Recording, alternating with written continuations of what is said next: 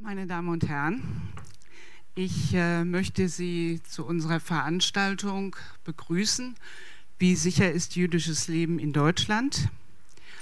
Und ähm, ich freue mich, dass Sie so zahlreich erschienen sind. Ähm, das führt mich zu meiner ersten These sozusagen ähm, für diesen Abend. Und zwar, Sie haben das sicher auch alle verfolgt, das Beispiel Friedenau.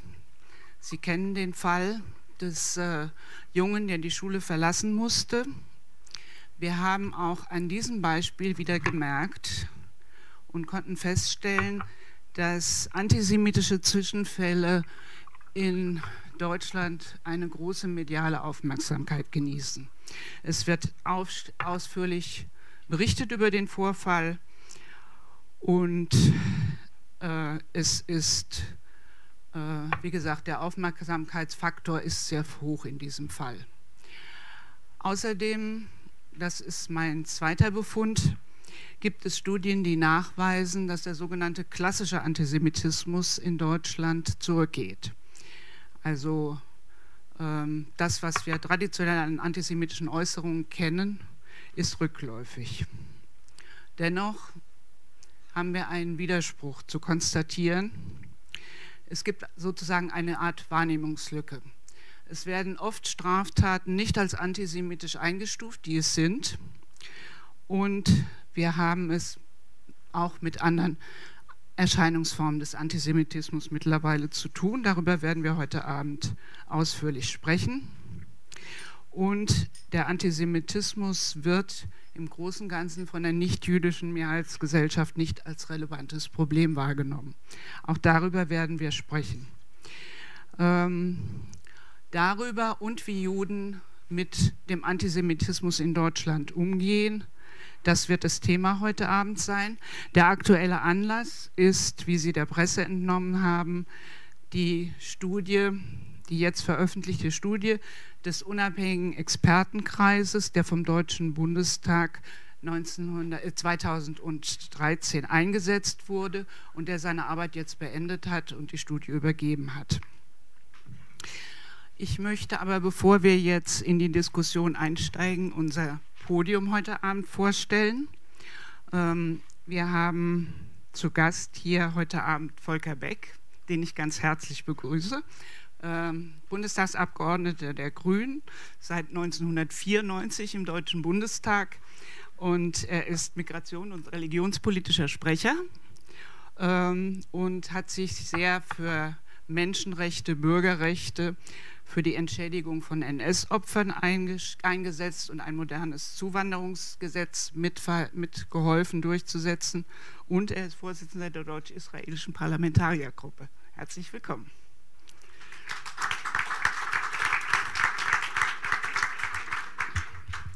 Dann komme ich zu unserem ersten äh, Mitglied des Expertenkreises. Herzlich willkommen, Juliane Wetzel.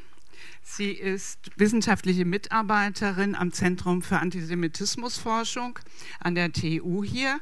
Sie ist Co-Koordinatorin des ersten Antisemitismusberichtes gewesen und auch diesen hat sie maßgeblich mitkoordiniert. Sie ist Mitglied der Delegation der International Holocaust Rem Rem Remembrance Alliance, äh, Vorstandsmitglied des Wien äh, Wiesenthal Instituts für Holocaust-Studien und Vorst Vorstandsmitglied der Kreuzberger Initiative gegen Antisemitismus. Herzlich willkommen.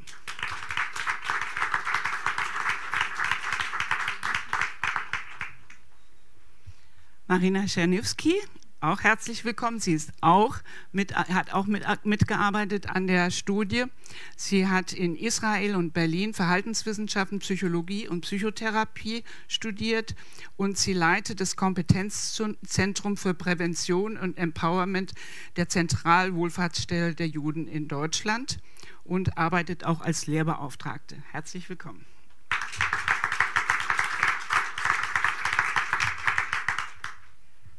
Ganz herzlich begrüßen will ich auch Michael Bodemann. Ähm, er ist emeritierter Professor für Soziologie. Wir haben uns schon öfter mal auf Podien gesehen, auch in Israel. Und äh, er lehrte viele Jahre lang an der Univers University of Toronto, ist seit äh, 2012 emeritiert und lebt auch wieder in, ähm, in Berlin. Er ist, äh, hat sich sehr intensiv mit der Geschichte der Juden in Deutschland seit 1945 beschäftigt. Das ist unser jüngstes Mitglied, ja. Und ähm, er hat auch über Migration und Integration sehr intensiv gearbeitet. Herzlich willkommen, Micha.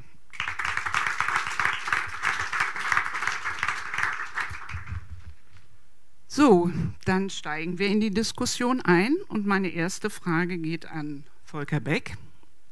Ähm, es gab ja bereits einen ersten äh, Antisemitismusbericht, den ebenfalls ein Expertenkreis äh, er, erstellt hat. Der ist 2011 äh, fertig geworden. Ähm, zwei Jahre später hat der Bundestag wieder eine Initiative ergriffen und einen zweiten Bericht angefordert. Was war die Dringlichkeit und warum jetzt in dieser Reihenfolge so schnell einen zweiten Bericht? Was hat die Politik dazu veranlasst und was erwartet die Politik von so einem Bericht? Für, für, die Politik kann ich nicht sprechen, weil deren äh, Regierungssprecher bin ich sozusagen äh, bin ich nicht. Aber es gibt immerhin ein, ein, ein, Bewusstsein im Deutschen Bundestag, dass der Antisemitismus ein dauerhaftes äh, Problem unserer Gesellschaft ist, dem man sich annehmen muss.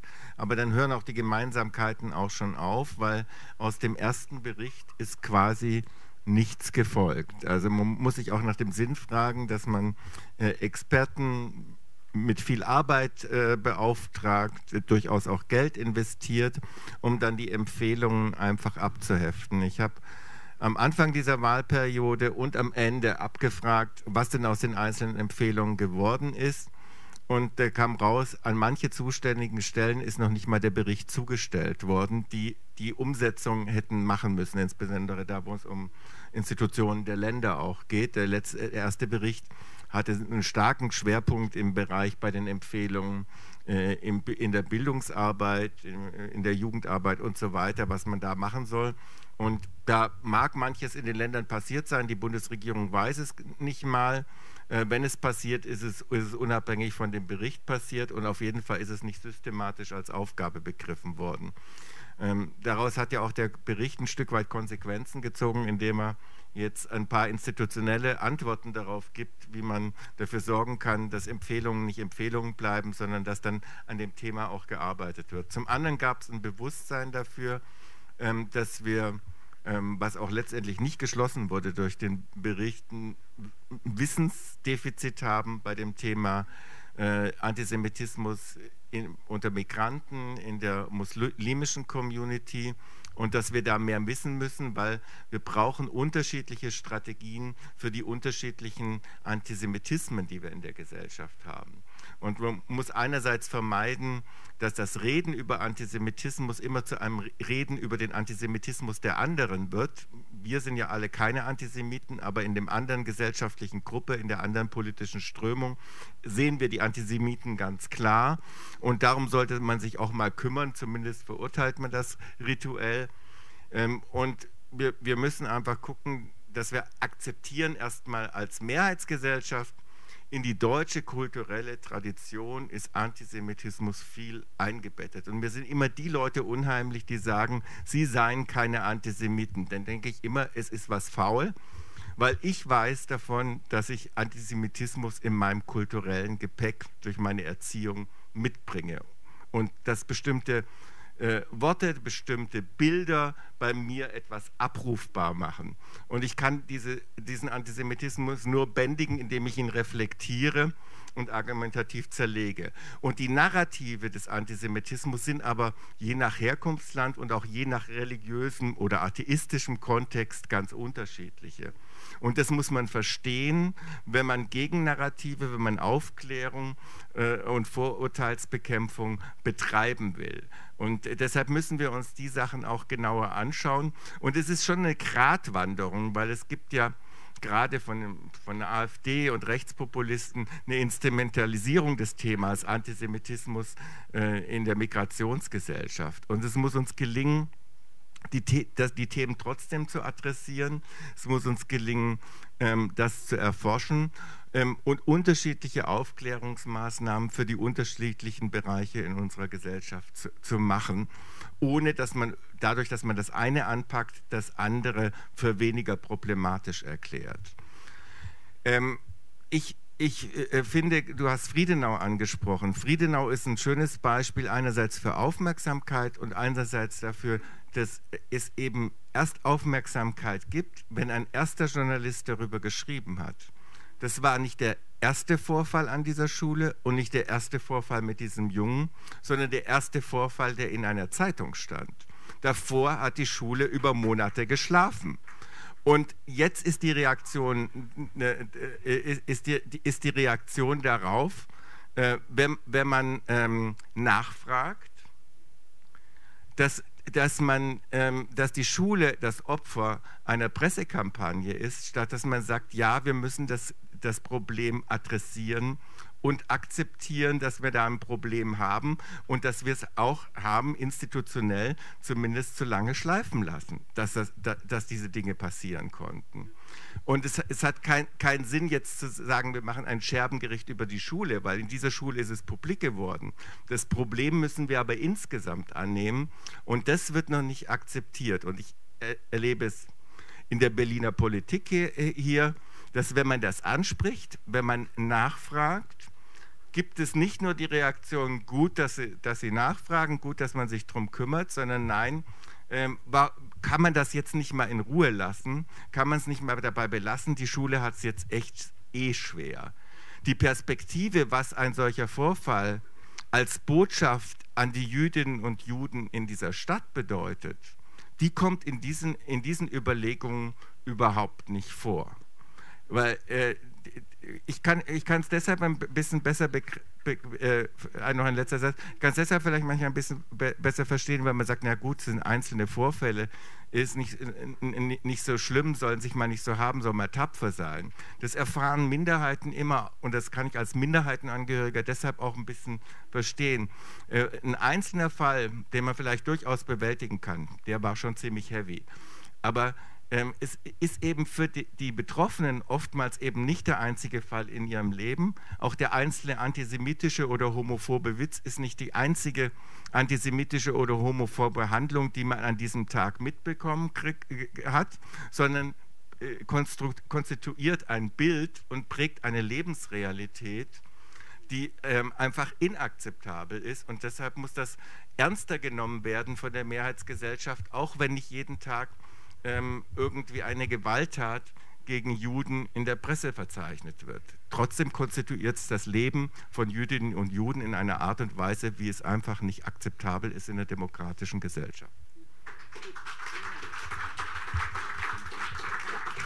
Vielen Dank, Volker. Ich glaube, gerade auf diese jüdische Perspektive und diesen Erfahrungsraum werden wir heute Abend noch zu sprechen kommen.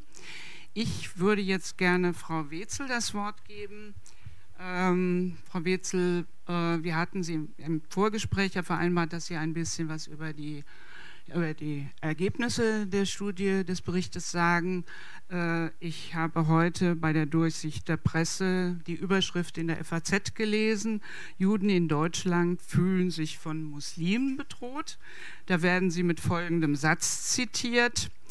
In der Öffentlichkeit steht die Gruppe der Muslime als vermeintliche Hauptverursacher des Antisemitismus im Fokus. Mit der Flüchtlingswelle haben solche Zuschreibungen noch zugenommen. Frau Wesel, fühlen Sie sich richtig verstanden? Nein, aber das ist typisch. Ähm, die Überschriften waren zum Teil wirklich, also was, wir fordern einen Antisemitismusbericht. Ich weiß nicht mehr, welche Zeitung das war. Die Süddeutsche Zeitung hat behauptet, wir haben keine jüdischen Mitglieder im Expertenkreis. Also man fragt sich dann, ob die, ähm, das war der Thorsten Schmitz, es ist nun nicht gerade irgendein Redakteur, dass sie nicht mitbekommen haben, dass es ja diese Auseinandersetzung um den Expertenkreis gegeben hat, weil am Anfang keine jüdischen Mitglieder im Expertenkreis waren und das ja dann äh, behoben worden ist nach weiß ich nicht, ein paar Wochen. Ähm, und wir ja dann äh, zwei, Marina sitzt hier und äh, Andreas Nachama, äh, zwei Mitglieder ähm, im Expertenkreis haben, die genau nicht nur alleine natürlich die jüdische Perspektive, denn auch wir können dazu natürlich was sagen, aber hier ist es natürlich noch besser verankert, wiedergegeben haben. Also insofern ähm, ist das natürlich auch der falsche Fokus, der da sind, widerspricht sich nämlich eigentlich, wenn man sagt, die Juden fühlen sich bedroht, das stimmt, die fühlen sich bedroht, zu Recht äh, natürlich auch. Auf der anderen Seite ist eben dieser, dieses Bashing von Muslimen als die einzige Gruppe, die in diesem Land antisemitisch ist, auch für die Mehrheitsgesellschaft ein sehr eine sehr willkommene Möglichkeit, sich nicht mit dem eigenen Antisemitismus auseinanderzusetzen, sondern eine Gruppe verantwortlich zu machen, die sowieso unter Diskriminierung leidet. Also und äh, wir haben ja nun, glaube ich, in dem Bericht ziemlich ausführlich dargestellt, dass uns eben noch empirische Daten fehlen, um wirklich auch aussagekräftig äh, zu sagen, wie verbreitet der Antisemitismus unter Migranten, und da meinen wir jetzt nicht nur Muslime aus, Türk, aus der türkischen oder arabischen, äh, mit türkischer oder arabischer Herkunft, sondern wie sieht es denn mit den Russlanddeutschen aus? Es gibt eine Studie, da sind die Russlanddeutschen wesentlich antisemitischer als die türkischen äh, Jugendlichen, die ist von 2010. Wie sieht es mit den Polen aus? Wir haben hier äh, eine große Zuwanderergruppe aus Polen und äh, Polen ist ja nun eines der Länder international, wo der Antisemitismus bei Einstellung am allerhöchsten ist. Also äh, das ist viel komplexer und das nimmt natürlich äh, die Presse leider eben immer nicht ganz wahr, obwohl ich sagen muss, sie hat besser als beim letzten Bericht wo es ja immer nur darum ging, dass 20 Prozent der Deutschen antisemitisch sind. Das war sozusagen die Aussage schlechthin. Jetzt doch etwas differenzierter äh, berichtet im Großen und Ganzen. Die Fernsehmedien waren da nicht so, aber die, die Printmedien waren da eigentlich, fand ich, ganz gut. Ähm, ich sage jetzt gleich noch was ein bisschen über die Inhalte. Ich wollte nur einen Satz, Herr Beck, zu Ihnen sagen, dass aus dem ersten Bericht nichts, nichts gefolgt ist, stimmt nicht ganz, weil das, ja, aber ich glaube schon ein wesentlicher Punkt für die Prävention durch die ähm, Erhöhung der ähm, finanziellen Mittel, die das Bundesministerium für Familie, Senioren, mhm, ich vergesse immer, wie sie heißt, äh, jedenfalls das Familienministerium bereitgestellt hat, ähm, sind sind ja äh, äh, Projekte gerade zum Thema Antisemitismus, auch äh, du Marina kannst da sicher noch was dazu sagen, äh, wesentlich besser ausgestattet worden. Es sind immer noch Modellprojekte, aber sie haben jetzt eine Ausstattung für fünf Jahre, was auch sehr einen großen Unterschied macht. Also das ist schon sozusagen gefolgt, äh, hat vielleicht auch mit der Person zu tun, die da im Bundesfamilienministerium jetzt ähm, einen großen, also viel macht. Aber ähm, also nur um es mal so ein bisschen, also es stimmt ins, insgesamt natürlich, dass der Bericht, der erste Bericht, ähm, leider irgendwo in die Schublade gewandert ist bei den meisten. Nun muss man auch sagen, er ist genau zu dem Zeitpunkt rausgekommen, als die NSU-Geschichte bekannt wurde. Und das ist natürlich etwas gewesen, was in dem Moment auch tatsächlich ähm, würde ich sagen, ein, ein, an Wichtigkeit einfach nochmal drüber stand. Und das war wirklich eine Koinzidenz. Wir haben im November den Bericht überreicht und im November 2011 war das mit der NSU. Ja, was ähm, ganz kurz zum Bericht, der, der hat 300 Seiten. Herr Beck hat ihn freundlicherweise hier liegen. Der ist ziemlich dick und ist äh, sehr klein geschrieben, nämlich wie die Bundestagsdrucksachen in der Regel ähm, erscheinen worauf wir, wir haben einige Schwerpunkte gesetzt. Eines ist die jüdische Perspektive, die im ersten Bericht zu kurz kam und ja, wenig angesprochen war. Also wie geht es den Betroffenen mit äh, solchen Vorfällen wie etwa in Friedenau? Wir haben uns auch ähm, insbesondere mit dem Internet und den sozialen Medien beschäftigt. Das ist ja nun das, ähm, das Terrain, wo heute, gerade was Hassbotschaften betrifft, das meiste eigentlich abläuft. Wir haben die Ergebnisse des ersten Berichts aktualisiert, was Straftaten betrifft, was Einstellungen betrifft, haben festgestellt, dass die Einstellung eben zu klassischen, das hatten Sie ja schon erwähnt, klassischen antisemitischen Stereotypen etwas zurückgeht, hingegen die äh, und auch der sekundäre Antisemitismus zurückgeht, leicht zurückgeht, hingegen die israelbezogenen ähm, Items, Aussagen wie die ähm, Umfrageleute sagen, eben immer noch bei über 40 oder bei 40 Prozent liegen, also doch sehr hoch. Und wir haben ähm, einen großen Schwerpunkt diesmal gelegt auf die Prävention. Dazu kann Marina mehr sagen, weil das eine Gruppe war innerhalb des Expertenkreises, die sich besonders der Prävention und der Projekte angenommen hat, auch Studien in Auftrag gegeben hat. Natürlich ist äh, der Antisemitismus unter Menschen mit Migrationshintergrund ein Thema gewesen. Wir haben eine erste Annäherung an die Frage Antisemitismus bei Muslimen unternommen, indem wir eine Studie ähm, in Auftrag gegeben haben bei Imamen.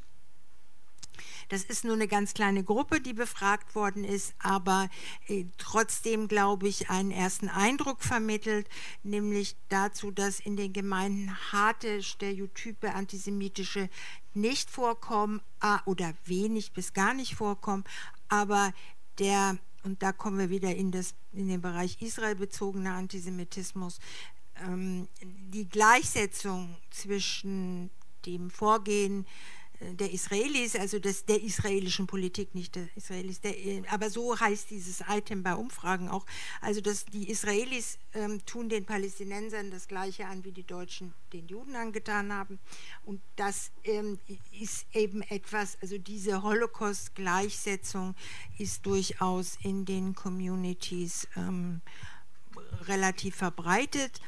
Ähm, aber wir fordern eben auch, dass man natürlich da weiterdenken muss und auch weiter Studien in Auftrag geben muss, die, die sich dem Thema noch auch in einer repräsentativen Form nähern, weil wir sonst immer nur mit diesen ähm, Zuschreibungen, die wir ja jetzt auch nach Friedenau wieder erlebt haben, im Dunkeln tappen, weil es eben einfach keine Daten dafür gibt zu sagen, es sind die Muslime und die Studien, die vorliegen, die wenigen, betreffen immer nur Jugendliche. Also wir haben keine Aussagen darüber, wie es bei den Erwachsenen ist.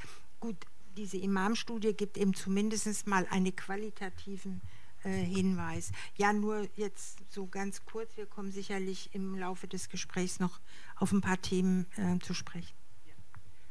Dann würde ich äh, Frau Czernitzki fragen äh, nach den Präventionen und würde Sie auch bitten, ähm, auch diese jüdische Perspektive noch mal ein bisschen näher zu erläutern, was, äh, wie die sich niedergeschlagen.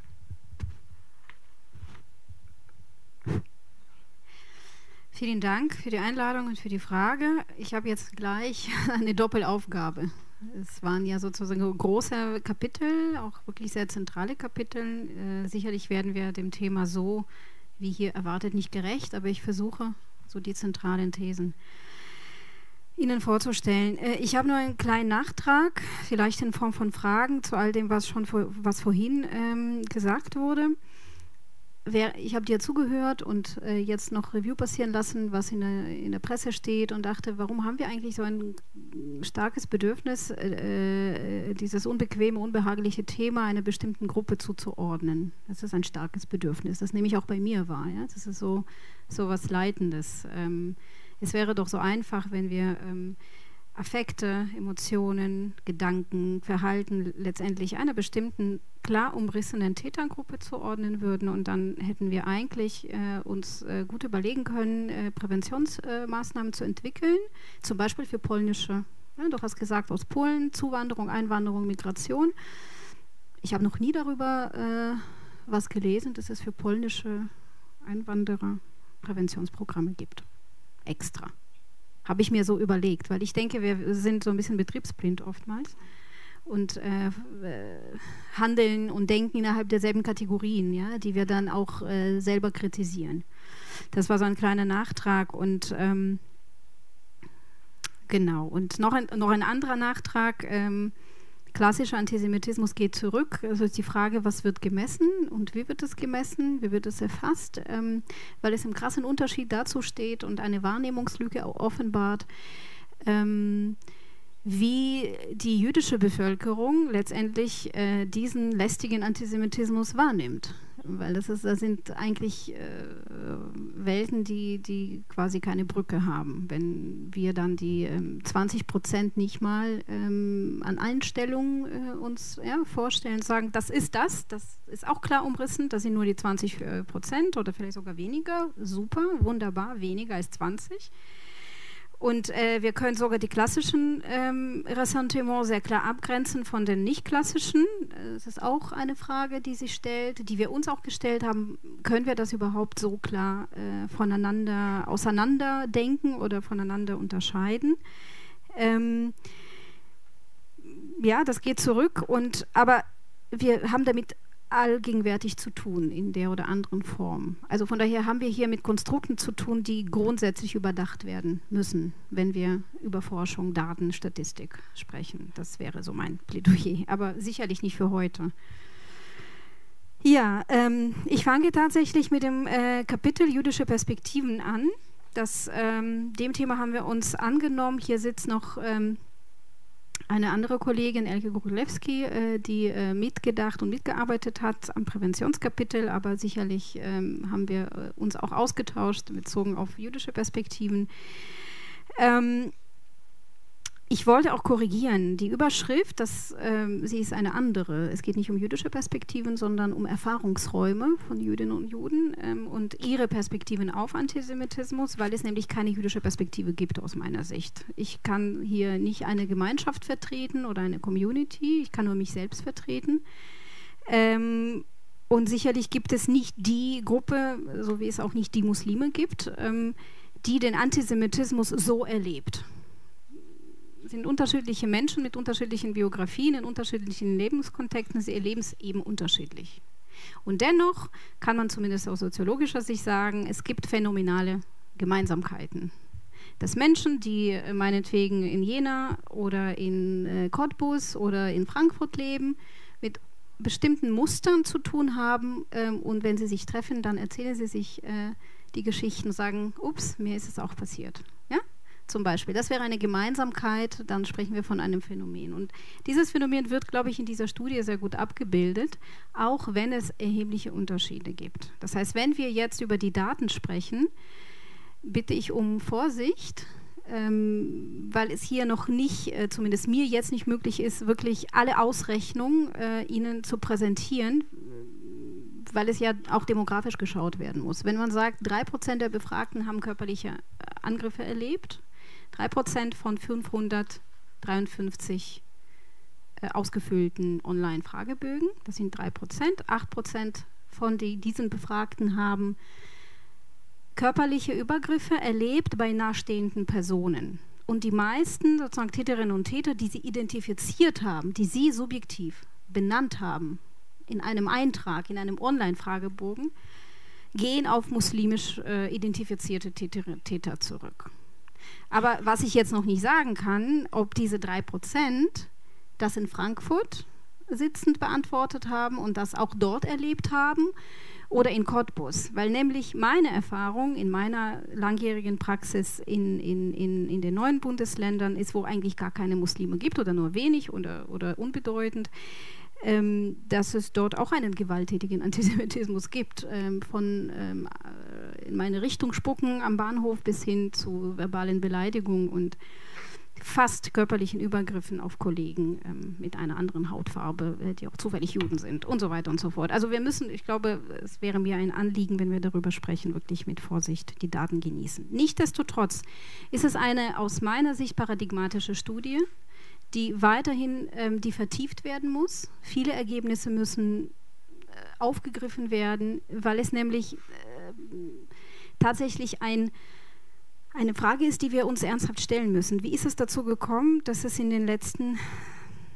30 Jahren keine grundlegende Studie darüber gibt oder, oder Studien, die sich wiederholen oder irgendwie Fortschrittsberichten oder irgendwie Bemühungen, diese Perspektiven überhaupt zu erfassen? Die gibt es nicht. Äh, wir haben äh, uns bei der Vorbereitung, Aufbereitung ähm, der ähm, Daten damit beschäftigt, was gibt es eigentlich an Umfragen und Daten. Und tatsächlich gibt es sehr gute qualitative Befragungen, zum Teil aus Israel, zum Teil die in Deutschland durchgeführt wurden ähm, die sehr viel Aufschluss darüber liefern, wie nimmt die jüdische Bevölkerung in Deutschland äh, Deutschland wahr, um Politik, Menschen, äh, wie ist ihr Sicherheitsgefühl, was sagen Sie über Ihre Zukunftsvision? Äh, möchten Sie auswandern und so weiter und so fort? Es gibt viele Fragen, die dort abgedeckt werden. Auch die Bewältigungsmechanismen und Bewältigungs Bewältigungsmuster, die auch wichtig sind, werden abgefragt. Aber so eine quantitative Studie, die wirklich 500 Menschen erreicht, und, und ihnen viele Fragen stellen kann, gab es nicht. Und das ist bezeichnend, weil es doch viele Umfragen gibt, die Einstellung messen. Und ich glaube, das ist wirklich ein Zeitpunkt, wo neben den Einstellungen, die gemessen werden müssen, auch ähm, die Einstellung der Betroffenen in den Blick genommen werden müssen das ist paradigmatisch, weil ich denke, es gibt ein Symptom, warum diese Studie, warum so eine Studie bis jetzt nicht gegeben hat, ähm, weil es nämlich irgendwie auch im Vergleich zum Umgang mit anderen Minderheiten und ihren Erfahrungen ähnliche Tendenzen gibt. Auch im Bereich Diskriminierung von Schwarzen gab es wenig äh, Studien, die subjektive Erfahrungen von, von Menschen, die von Ausgrenzung, Diskriminierung betroffen sind, erfasst haben. Äh, wir haben jetzt äh, mit Studien zu tun, Antidiskriminierungsstelle des Bundes beispielsweise, äh, die wirklich neu sind. Plötzlich kommt so eine Studie, groß angelegt, wo es um subjektive Erfahrungen wie Diskriminierung geht. Und die ist wirklich neu und davor gab es wenig oder kaum was. Also von daher, es steht in der Tradition, hier auch in der Forschung, dass die Perspektive der Betroffenen eigentlich kaum bis gar keine Rolle spielt und dass wir uns eher auf die Täterinnen und Täter fokussieren. Ich will das jetzt nicht ausweiten, aber es ist eine Diskussion für sich. Ähm, die Studie ist äh, aufgeteilt ähm, in quantitative, qualitative ähm, Befragung, die qualitativen Befragungen äh, geben Aufschluss darüber oder Einblick, ähm, wie es Menschen wirklich geht und was sie denken, was sie fühlen, wie sie bewältigen. Ihr Umgang wird dadurch sichtbar und sichtbar wird es auch, ähm, dass sie sich darüber wundern, dass man sie eigentlich fragt. Es geht hier nicht um Funktionäre oder Menschen in jüdischen Institutionen, es geht um ganz normale Menschen, Studenten, Jugendliche, Erwachsene. So. Genau. Ähm, das habe ich mit den. Genau, das ist die Studie in der Studie. Äh, der, der, Expertenkreis hat sich Gedanken darüber gemacht, wie, wie, kommen wir an die Daten, wie kommen wir an diese Perspektiven und ähm, hat ähm, das Institut in Bielefeld für Gewalt- und Konfliktforschung damit beauftragt, ähm, diese Studie durchzuführen. Es gab ein Team, äh, bestehend aus jüdischen und nicht-jüdischen Wissenschaftlerinnen und Wissenschaftlern in Kooperation und einer sehr engen Zusammenarbeit mit äh, mir und Beate Küpper ist ein Fragebogen entstanden, der äh, dann auch durch eine kleine Gruppe, Fokusgruppe, validiert wurde und dementsprechend nach dieser Validierung ähm, veröffentlicht wurde. Wir haben gebeten, diesen, äh, diesem Fragebogen nachzugehen und innerhalb von drei Wochen hatten wir, glaube ich, über 600 Einträge, was erstaunlich hoch ist. Wir haben uns eher Sorgen gemacht, ähm, dass, dass, dass, dass wir die in, in der engen Zeit, die wir zur Verfügung äh, hatten, dass wir keine ja, Daten sammeln können. Aber also ich glaube, hätten wir länger diesen Fragebogen äh, stehen lassen, hätten wir noch mehr Einträge bekommen. Ausgewertet wurden 553 ähm, Fragebögen. Genau. Und diese qualitative Befragung, das war eine Studie, INA-Studie, das war wie ein zweiter Teil dieser Studie, um nochmal äh, tiefer gehender und äh, tiefer ähm, ja, äh, mit, mit den Perspektiven von Menschen oder an die Perspektiven von Menschen zu kommen. Und darüber hinaus wurden auch äh, Expertinnen und Experten oder Funktionäre oder wie auch immer man äh, uns benennen kann, sozusagen Menschen aus jüdischen Institutionen äh, befragt. Ähm, und auch sie haben sehr viele Einblicke gegeben, wie ihre Institution, wie ihre ähm, Bewältigungsformen, ähm, Umgangsformen aussehen. Ähm, Im Ergebnis haben wir tatsächlich mit einer Wahrnehmungsdiskrepanz zu tun oder einer Perspektivendivergenz, wie wir das äh, in unserem Kapitel benannt haben, während die deutsche Gesellschaft, und ich sage jetzt ganz explizit die deutsche Gesellschaft, dazu gehören viele Gruppen und viele Individuen, sich schwer tut, den Antisemitismus anzuerkennen als ein Bestandteil der Wirklichkeit. Wir haben auch Daten, ich glaube, Bertelsmann Stiftung hat eine Studie gemacht 2013. Ich glaube, über 70 Prozent haben äh, nicht. Ah, okay, nein, das ist eine andere, die ich meine. 2013, glaube ich, war die Studie, die jetzt erstmal die, ähm, also nicht die Fra-Studie, sondern die andere Studie, die ähm, irgendeine Studie, aber auf jeden Fall waren das über 70 Prozent, die gesagt haben, nö, Antisemitismus ist kein relevantes Thema für uns. Und die Hälfte davon hat dann auch ähm, Daten geliefert, Einschätzungen geliefert und mich äh, kotzt das an, wenn, wenn, ja, wenn, wenn das Thema sozusagen besprochen wird. So. Ähm, Gleichzeitig berichten 76 Prozent äh, der jüdischen Befragten, dass Antisemitismus für sie ein großes Thema ist. Lebensprägend, alltagsprägend, relevant in allen Zusammenhängen ihres öffentlichen und ihren, ihres privaten Lebens. Und sie halten aber auch, genauso, ich glaube 70 Prozent halten auch Rassismus für ein sehr großes Problem. Das, oder auch andere Themen. Das, ja, wir haben auch abgefragt, nicht nur Antisemitismus stand für sie wirklich ganz vorn, sondern auch andere gesellschaftliche Fragestellungen und Probleme wurden bewertet. Ähm, ein sehr hoher Prozentsatz hat angegeben, Opfer verbale Attacken gewesen zu sein in den letzten zwölf Monaten. Und ähm, ich glaube, über 70 Prozent haben angegeben, in den letzten zwölf Monaten ähm, mindestens einmal in der Woche ähm, versteckte Andeutungen äh, mitbekommen zu haben. Ein weiterer Item äh, oder eine weitere Frage, die mich sehr bewegt hat, äh, wie belastend beispielsweise sind diese Erfahrungen für Sie. Über die Hälfte bewertet diese, dieses Erleben als sehr belastend. Aber es gibt natürlich auch viele Strategien, ja, die Menschen sich aneignen, damit umzugehen. Das heißt, wir müssen sie nicht immer als Betroffene benennen oder Opfer, sondern Menschen setzen sich damit auch aktiv auseinander. Und dennoch ähm, war das auffällig, dass nur die wenigen äh, sich überlegt haben, mit anderen Personen darüber zu sprechen beziehungsweise sich an die entsprechenden Beratungsstellen zu wenden, auch dann nicht, wenn sie Opfer oder Betroffene äh, körperlicher sozusagen Auseinandersetzungen gewesen waren oder geworden sind. Das hat uns sehr nachdenklich gemacht. Daraufhin haben wir eine Beratungsstelle äh, eingerichtet oder werden einrichten. Ähm, es gibt sehr viele Ergebnisse. Diese Studie ist nicht präsentierbar innerhalb von fünf Minuten. Dazu bräuchten wir mehr Zeit, aber vielleicht haben Sie ähm, einen kurzen Einblick bekommen, äh, worum es uns eigentlich ging. Nochmal wichtig ist, ist, mir zu sagen, es geht um subjektive Perspektiven, es geht nicht um sozusagen Statistik, die, ähm, ja, gut, es gibt keine objektive da objektiven Daten, aber diese subjektiven Wahrnehmungen sind wichtig in Anbetracht dessen, dass es oft suggeriert wird oder gar unterstellt, übertreiben Sie nicht, seien Sie nicht so sensibel. Äh, mehr oder weniger offen ist der Vorwurf im Raum, naja, hm, vielleicht aufgrund Ihrer Geschichte oder aufgrund Ihrer Erfahrung sind Sie ein bisschen übermäßig, ähm, ja, überempfindlich. So, ähm, all das gehört auch dazu. Ja, das war Prävention, bin ich gar nicht gekommen. Ja, ja, genau, wir kommen dann. Also ich glaube, eines der Verdienste dieser, dieses Berichtes ist wirklich, dass es belastbare Zahlen gibt für Bereiche, die bisher noch nicht so weit untersucht waren. Ich wollte jetzt aber noch mal, also mich hat ehrlich gesagt bei der ersten, ähm, bei der ersten Begegnung mit diesem Bericht ähm, etwas erstaunt, ähm, dass betont wurde, dass hier eigentlich zum ersten Mal dieser Erfahrungsraum überhaupt aufgerufen worden ist.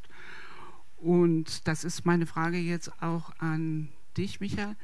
Ähm, also wir haben diese Debatte über Antisemitismus, die begleitet uns ja schon seit Jahrzehnten eigentlich. Und ich finde es eigentlich wirklich erstaunlich, dass die Minderheit, die dieses Thema am meisten berührt oder berühren sollte, dass man jetzt erst auf die Idee kommt, diese Perspektive einzubeziehen. Äh, Frau Czerniewski hat äh, den Täterfokus der, der deutschen Auseinandersetzung mit diesem Thema ähm, benannt. Und äh, meine Frage an dich, ist das eine spezifische deutsche Perspektive und was sagt die uns über unser Verhältnis zu diesem ganzen Thema? Frage, also ich kann die einzige andere Erfahrung, die Erfahrungswelt, die ich habe, ist es an mir oder nicht? Okay. Äh, ist äh, eben Kanada und Toronto, wo ich äh, für die meiste Zeit meines Lebens gewohnt habe. Und ähm, die Situation tatsächlich ist dort eine, eine, ganz andere. Das Letzte, was Sie vielleicht gehört haben, ist, dass in, äh, in Ottawa äh, der Prime Minister Trudeau einen Seder veranstaltet hat mit Mitarbeitern, Mitarbeitern in, in, in der Regierung. Und das kam natürlich groß raus. War eine, eine neue Sache, die man wahrscheinlich in Deutschland nicht so unbedingt äh, immer finden würde, nehme ich an, zumindest. Also eine sehr das Bild einer erstmal einer angekommenen Minorität der Juden und zweitens eben die Akzeptanz in den höchsten äh, Gremien, Toleranz und so weiter, die dann da präsentiert wird.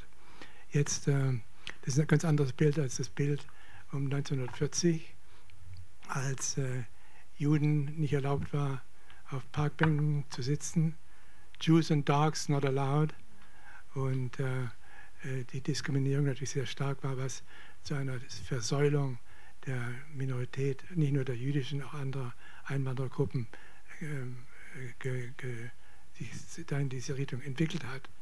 Aber äh, das war dann, und im Grunde haben die jüdischen Organisationen das nicht als Antisem diesen Antisemitismus eben in einer linken Rhetorik umgeleitet und äh, das so also verstanden, dass es gegen die Arbeiter ging und nicht gegen die Juden. Nach 1945 hat sich das dann natürlich sehr drastisch gewandelt, sehr bald. Und die Strategie äh, der jüdischen Gemeinschaft in, in, äh, in Toronto, in Kanada insgesamt, war die, antisemitische Vorfälle im Grunde zu äh, verstecken. Also großes Swastika an Holy Blossom Synagogue, äh, da würden Sie nichts in der Zeitung darüber äh, finden, weil äh, die Idee war, es gibt dann Nachahmer und so weiter. Und dann wird es nur noch schlimmer und drastischer. Im Gegensatz zu hier, wo natürlich die, äh, die äh, Swastika und was immer passiert ist, an antisemitischen Aktivitäten, die eigentlich relativ stark, zumindest die krasseren, ziemlich stark in der Presse vorkommen. Damals diese Schweinsköpfe und so weiter, die an Brückengeländern waren und so weiter. Unter anderem. Also in, dahin, in der Richtung ist äh, da eine große äh, großer Unterschied, der da ist. Die, der andere Unterschied, und ich kann hier nur zunächst mal mal ein paar Unterschiede nennen. Der andere, andere Unterschied ist der, dass äh, im Gegensatz zu was ich hier sehe von den offiziellen jüdischen Organisationen, dass im Gegensatz dazu die jüdische Gemeinschaft in Kanada, zum Beispiel gerade in Toronto, wo ich das kenne, eine recht erstaunlich enge Zusammenarbeit ist zwischen den muslimischen Gemeinschaften und den jüdischen. Vor allem natürlich in je, jeweils natürlich eher im liberalen Spektrum, sowohl muslimisch als auch jüdisch. Aber insgesamt es ist da und ist sehr sichtbar da. Und äh, diese Angstkampagne, die es zum, hier, zum, Teil hier gab gegen die Flüchtlinge von äh, jüdischerseits, ein Teil von jüdischen Organisationen, die gibt es im Grunde äh, in, diesem, in diesem Sinn natürlich nicht in Kanada. Ähm, ja, trotzdem natürlich, der Antisemitismus ist eindeutig da. Äh, das ist natürlich die, der ganze Sozialneid kommt dann raus, dass eben die Juden sehr erfolgreich waren, dass sie innerhalb von zwei Generationen eben eine enorme Struktur aufgebaut haben. Also zum Beispiel, ein Beispiel zu nennen, die ganzen Sozialeinrichtungen, äh, die die jüdische Gemeinschaft in Toronto hat. Die jüdische Gemeinschaft in Toronto sind ca. 250 200, 250.000 Personen, die, die werden alljährlich mit, also mit über 50 Millionen äh, finanziert. Und wer bringt diese 50 Millionen auf? Diese 200.000 Juden, die es da gibt in Toronto. Das ist natürlich erstaunlich. Dass jedes Jahr 50 Millionen werden von, von, von kleinen Beiträgen 25 äh, Dollar bis zu einer Million von den großen Familien werden gespendet und unterhalten diese ganzen Organisationen, Krankenhäuser und Altersheime und so weiter. Natürlich hier undenkbar und gerade die, auch die, der, die Tatsache der Masse, der großen Zahl von Juden, äh, Juden in, in einer Stadt, im Vergleich zum Beispiel zu Berlin oder anderen, andernorts, macht natürlich einen großen Unterschied aus. Gerade ihr, ihr Standing, ihr, die, wurde die perceived, die, die vorgestellte Macht, die sie haben und so weiter, bringt natürlich auch eine ganz andere Haltung rüber, als wenn ein einzelner Schüler in, einem, in einer Klasse irgendwo sitzt und dann gepiesackt wird und verfolgt wird. Ja, und verfolgt wird, Entschuldigung, danke. Verfolgt wird von seinen Mitschülern. Ähm, ja, was ich noch sagen wollte ist, äh, also dieser Antisemitismus ist stark da. Die Reihenfolge ist ungefähr so. Äh, Antisemitismus ist an oberster Stelle, äh, folgt, gefolgt von Homophobie und drittens dann Islamophobie. Das ist in dieser Richtung äh, bei uns in Kanada. Ähm, dann wollte ich noch eine andere Sache sagen. Ja, zu, weil das ist die Sprache von, äh, wir haben darüber gesprochen, über, Jüde, über antisemitische Einstellungen. Da kam mir nur noch in den Sinn auch genau, wie das natürlich im Kontext äh, äh, aktualisiert wird und wie das im Kontext ausgesprochen wird. Zum Beispiel, es gab ja einige äh, Studien zu Juden in der DDR, zu Zeiten der DDR. Und da war es eben, Antifaschismus war ganz wichtig und äh, äh, die Antisemitismus gab es im Grunde nicht und so weiter. Und dann dieselben Personen, die dann ein paar Jahre später interviewt wurden, die haben dann plötzlich, also jüdische Personen natürlich, haben dann plötzlich gefunden, dass der schreckliche Antisemitismus existiert hat. Mit anderen Worten, dieser Kontext, der unterschiedliche Kontext spielt natürlich eine, ganz eigentlich eine große Rolle. Und deshalb ist es immer auch ein Problem, wie die Fragen und die Resultate, die aus den Befragungen kommen, in welchem Kontext die befragt werden, erfragt werden, muss man auf jeden Fall sehen. Schließlich noch eine kleine Sache, die ich einfach äh, sagen wollte hier ist, äh, wir haben das Wort Antisemitismus, das heute ja zusammengeschrieben wird und früher ja Anti-Semitismus äh, war. Und das war natürlich im, Ende, des 18, äh, Ende des 19. Jahrhunderts, Anfang des 20. Jahrhunderts, auch in einer Zeit, in der man von den Orientalen und dem orientalischen Milieu sprach, wenn man tatsächlich über Juden gesprochen hat oder über Juden gedacht hat. Und äh, ich glaube, das, das Wichtige dabei ist, dass tatsächlich Juden als Orientalen äh, mit zusammen mit arabischen und so weiter äh, Leuten quasi in, eine, in einen Pott auch geworfen wurden. Die wurden zusammen identifiziert als solche. Und ich glaube, da müssen wir wieder zurück zu, der, zu diesem Ursprung dieser, dieser Begrifflichkeit, dass nämlich äh, äh, dieser Begriff wichtig ist, weil er nämlich andere Gruppen äh, einschließt, abgesehen von den Juden selber. Danke. Ja, ich würde gerne dazu was sagen. Ähm, Herr Bodemann, ich glaube, Sie sprechen hier von dem Hyphen, also von dem Bindestrich, und das betrifft die englische Sprache. Im Deutschen ist der Begriff nie mit Bindestrich geschrieben worden. Und es hat auch nichts mit Semiten zu tun, also mit der Sprachfamilie ähm, der Semiten, mit ein, ein philologischer Begriff, weil es ausschließlich, einzig und allein um Judenfeindschaft geht mit diesem Begriff. Und das ist, glaube ich, einfach wichtig zu betonen, gerade vor dem Hintergrund, äh, dass ich das oft höre aus ähm, arabischen Communities, dass sie sagen, wir können ja nicht antisemitisch sein, weil wir Semiten sind. Und ähm, das ist insofern, ehrlich gesagt, wirklich ein Unsinn, dass sie das nicht sein können, weil es nur Judenfeindschaft betrifft und mit Semitismus, also mit dem philologischen Begriff gar nichts zu tun hat. Und dieser Hyphen, dieser Bindestrich ist eben in, in teilweise in, dem, in der englischsprachigen Welt. Heute haben wir aber ein Problem, wenn wir Englisch schreiben, dass Microsoft automatisch den Bindestrich setzt. Also wenn Sie einen Text schreiben und Sie schreiben Antisemitism, haben Sie automatisch den Bindestrich drin. Und deshalb haben wir in der International Holocaust Remembrance Alliance jetzt mit Microsoft Kontakt aufgenommen, dass die diese Auto, den Automatismus ausschließen. Nein, wir haben nur, wir versuchen nur, dass der Automatismus einfach rausgeht. Ähm, und ich meine, das ist lächerlich, aber es ist wirklich, äh, selbst uns, die, die wir ja nun viel und immer wieder aufpassen, es zusammenzuschreiben, macht er das automatisch und wie oft geht es dann, dass, dass es bleibt. Das wollte, aber zu dem Begriff Antisemitismus, glaube ich, ist einfach nochmal wichtig, dass man diesen Hyphen äh, nicht sieht.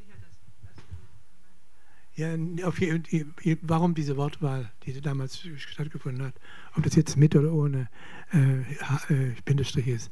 Aber dazu kommt ja den Kontext, den ich äh, versucht habe zu zeigen, nämlich den, das, dieses, das Orientalische, des Orientalismus. Und eindeutig waren die Juden unter dieser Rubrik. Ich, meine, ich kenne das zumindest von der klassischen deutschen Soziologie. Ich das auf jeden Fall also, mir, ja, ähm, gleich. Ähm, ich habe einen sehr interessanten Begriff bei Ihnen, Frau Czerniewski, gefunden, nämlich den Begriff des Fremdmachens. Und ich glaube, das ist etwas, worauf, was das umfasst, also diese, diese Identifikation mit dem anderen. Und das fand ich einen ziemlich treffenden Begriff.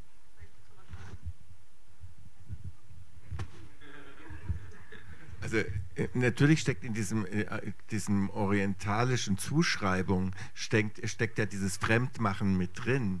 Aber die Judenfeindschaft oder äh, Antisemitismus als Judenfeindschaft ist eben ein ganz spezifischer Topos ähm, mit ganz spezifischen Narrativen und die, die, die sind nicht inklusiv. Also man, ähm, man muss Islamophobie auch bekämpfen oder antimuslimischen Rassismus und Homophobie auch, aber man kann das jetzt nicht alles unter einem ähm, inklusiven Begriff von Antisemitismus alles vermatschen. Das ist wie bei der Diskussion, die wir in Deutschland haben mit Rassismus und Antisemitismus, wo viele Initiativen meinen, wenn wir was gegen Rassismus machen, dann haben wir automatisch auch was gegen Antisemitismus gemacht. Ja, es gibt rassistische Vorstellungen von Antisemitismus, es gibt antijudaistische Vorstellungen von Antisemitismus und es gibt so Weltverschwörungstheorien, wo man gar nicht weiß, was haben die Leute eigentlich eine Vorstellung, wie das zusammenhängt, aber es steckt irgendwo am Ende der Geschichte immer ein Jude dahinter oder eine jüdische Bank oder äh, eine jüdische Familie. Ähm, also ich, ich, ich, warne davor, dieses Phänomen des Antisemitismus mit anderen äh, Formen gru gruppenbezogener Menschenfeindlichkeit einfach ähm, gleichzusetzen. Gruppenbezogene Menschenfeindlichkeit muss man insgesamt angehen als politische Strategie, das ist schon richtig. Aber gerade wenn man den Nationalsozialismus anschaut oder die deutsche Geschichte, der Antisemitismus war immer ein Treiber. Und man kann ein drittes Reich ohne Homophobie denken, man kann ein drittes Reich auch ohne bestimmte Rassismen denken, man kann das dritte Reich nicht ohne Antisemitismus denken. Das was war, was den Laden ideologisch zusammengehalten hat und was ihn dann zu weiteren Ausmerzungsstrategien gegen andere Gruppen getrieben hat. Aber die, kon die konnte man immer taktisch tun oder lassen. Das war nicht für die Identität und für die Motivation prägend. Und das muss man schon so ähm, zur Kenntnis nehmen, darf man, darf man nicht einfach alles ähm, gleichsetzen hier. Entschuldigung nochmal, ich setze das auch nicht gleich, keineswegs. Aber die Sache ist, man muss eben die Verbindung trotzdem sehen. Also das Fremdmachen das ist ein ganz, ganz wichtiger Begriff hier. Ich meine, das ist völlig klar. Meine, das, äh, äh, Islamophobie ist nicht Antisemitismus. Aber man muss sehen, die, die, welche Gruppen adoptieren diese, diese Gefühle, diese, diese Einstellungen und so weiter. Und darüber muss man eben gehen und die nicht separieren. Ich würde an dieser Definitionsfrage doch noch mal gerne ein bisschen ähm, weiter fragen. Frau Wetzel, die, der Bericht hat sich ja auf eine bestimmte Definition des Antisemitismus auch, äh, hat die als Grundlage genommen, wenn ich das richtig verstanden habe. Können Sie dazu vielleicht noch mal was sagen? Ja, wir haben lange darüber diskutiert, weil man natürlich auch einfach sagen kann, Antisemitismus ist Judenfeindschaft. Muss man das immer großartig definieren? Ähm, und dass diese Definitionsfrage oft von denen kommt, die eigentlich sich selbst davon lossprechen wollen, Antisemiten zu sein, weil sie dann sagen, na, definieren Sie doch erstmal. Also wir haben da lange darüber diskutiert. Wir haben auch lange über die sogenannte Working Definition, also die äh, Arbeitsdefinition, die 2005 von der Fundamental Rights Agent, damals noch EOMC, und ähm, vor allen Dingen von ODIR, der Menschenrechtsabteilung der OSZE, äh, in, ja, kreiert worden ist ähm, und immer von einigen Ländern bereits angenommen wurde, vor allen Dingen zum Beispiel in Großbritannien wurde die Polizei schon lange darauf ähm, mit dieser Definition geschult. Wir haben uns dann dazu entschieden, eine wissenschaftlich ausführlichere Definition ähm, zu bieten, aber dabei gleichzeitig äh, auf die Working Definition Bezug genommen, insofern, dass wir gesagt haben, für die praktische Arbeit ist die Working Definition eine gute Grundlage und wichtig. Und dass unsere ähm, Behörden, die Polizei, äh, diese Working Definition immer noch nicht zur Kenntnis nimmt, ist halt so, vielleicht ähm, passiert es irgendwann dann auch mal, dass in Deutschland der Bundestag sowie das äh, Parlament in Großbritannien die Definition als die richtige annimmt. Immer, immerhin haben 31 Mitgliedstaaten der International Holocaust Remembrance Alliance diese Definition im letzten Jahr als ähm, ihre angenommen mit größeren Widerständen.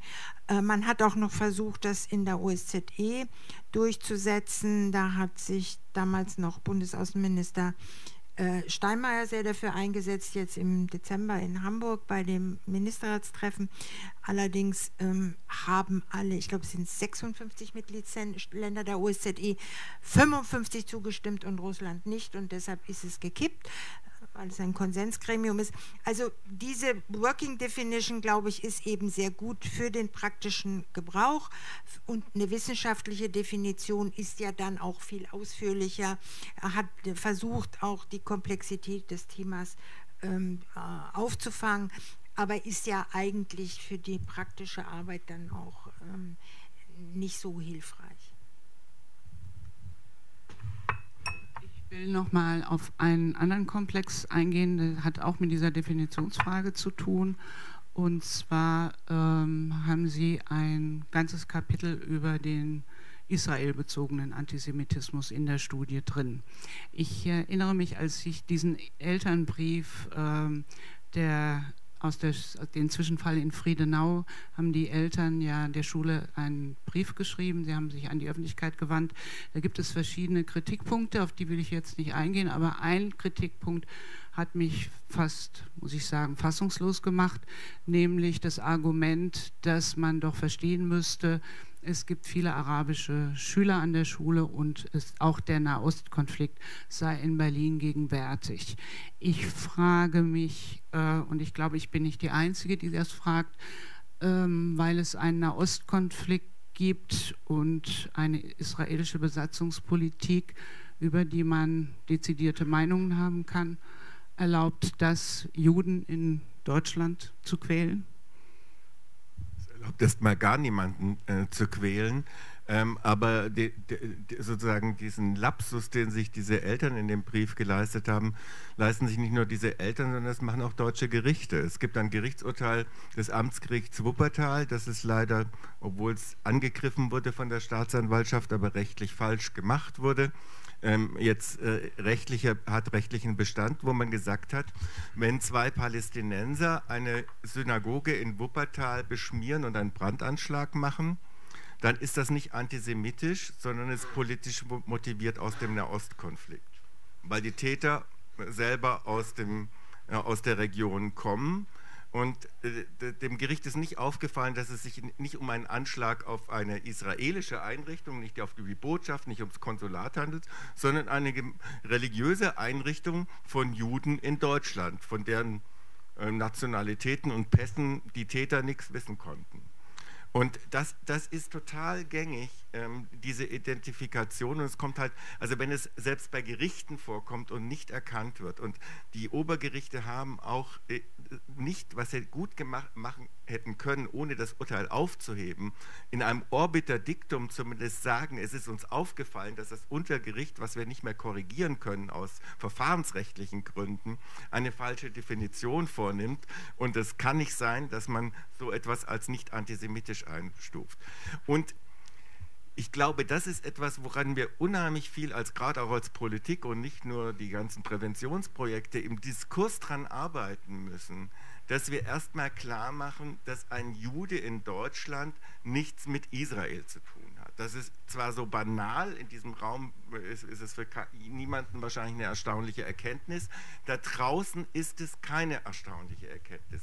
Und dass man auch, wenn man über Israel redet, eben das genauso wenig wie Deutschland ein homogenes Land mit einer homogenen Bevölkerung, die alle eine politische Meinung äh, haben, auch differenzieren muss und auch nicht ein Israeli für etwas verantwortlich machen kann. Schlagen soll man sowieso niemanden oder angreifen, aber auch argumentativ nicht angreifen kann für das, was Herr Netanyahu macht oder was Herr Bennett macht, ohne zu wissen, was dieser Israeli denn gewählt hat und welche, ob er deren, tatsächlich deren Parteigänger ist. Also diese Homogenisierung, die wir im Diskurs auch über Israel haben, mit dem Wort Israel-Kritik, ist auch ein Problem. Das hat jetzt mit den Juden in Deutschland nicht unmittelbar zu tun, ist aber auch anti-israelisch, äh, antisemitisch.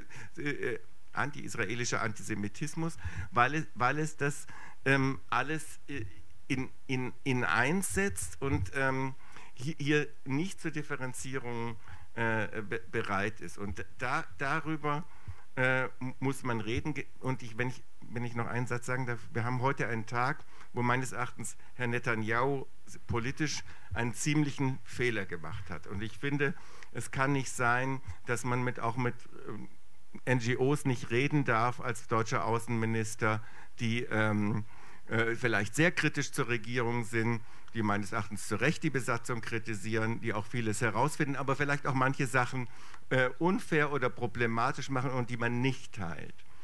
Aber der Zungenschlag der Presseberichterstattung, die jetzt auf diesen Eklat folgt, der gibt mir auch zu denken.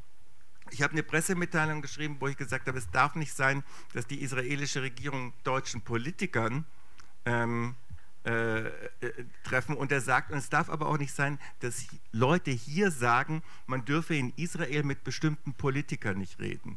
Alle Agenturen unisono haben den einen Teil weggelassen und nur die Kritik gebracht. Und so, so ist die Berichterstattung über Israel in ganz häufigen Fällen, wir kriegen richtige Kritikpunkte ähm, transportiert. Wir kriegen Kontexte des Konfliktes und der Auseinandersetzung nicht äh, ähm, transportiert.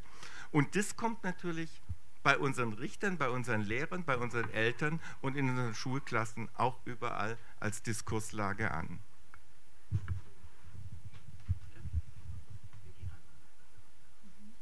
Ähm, soll ich jetzt noch was zu Israel bezogenem Antisemitismus sagen? Oder?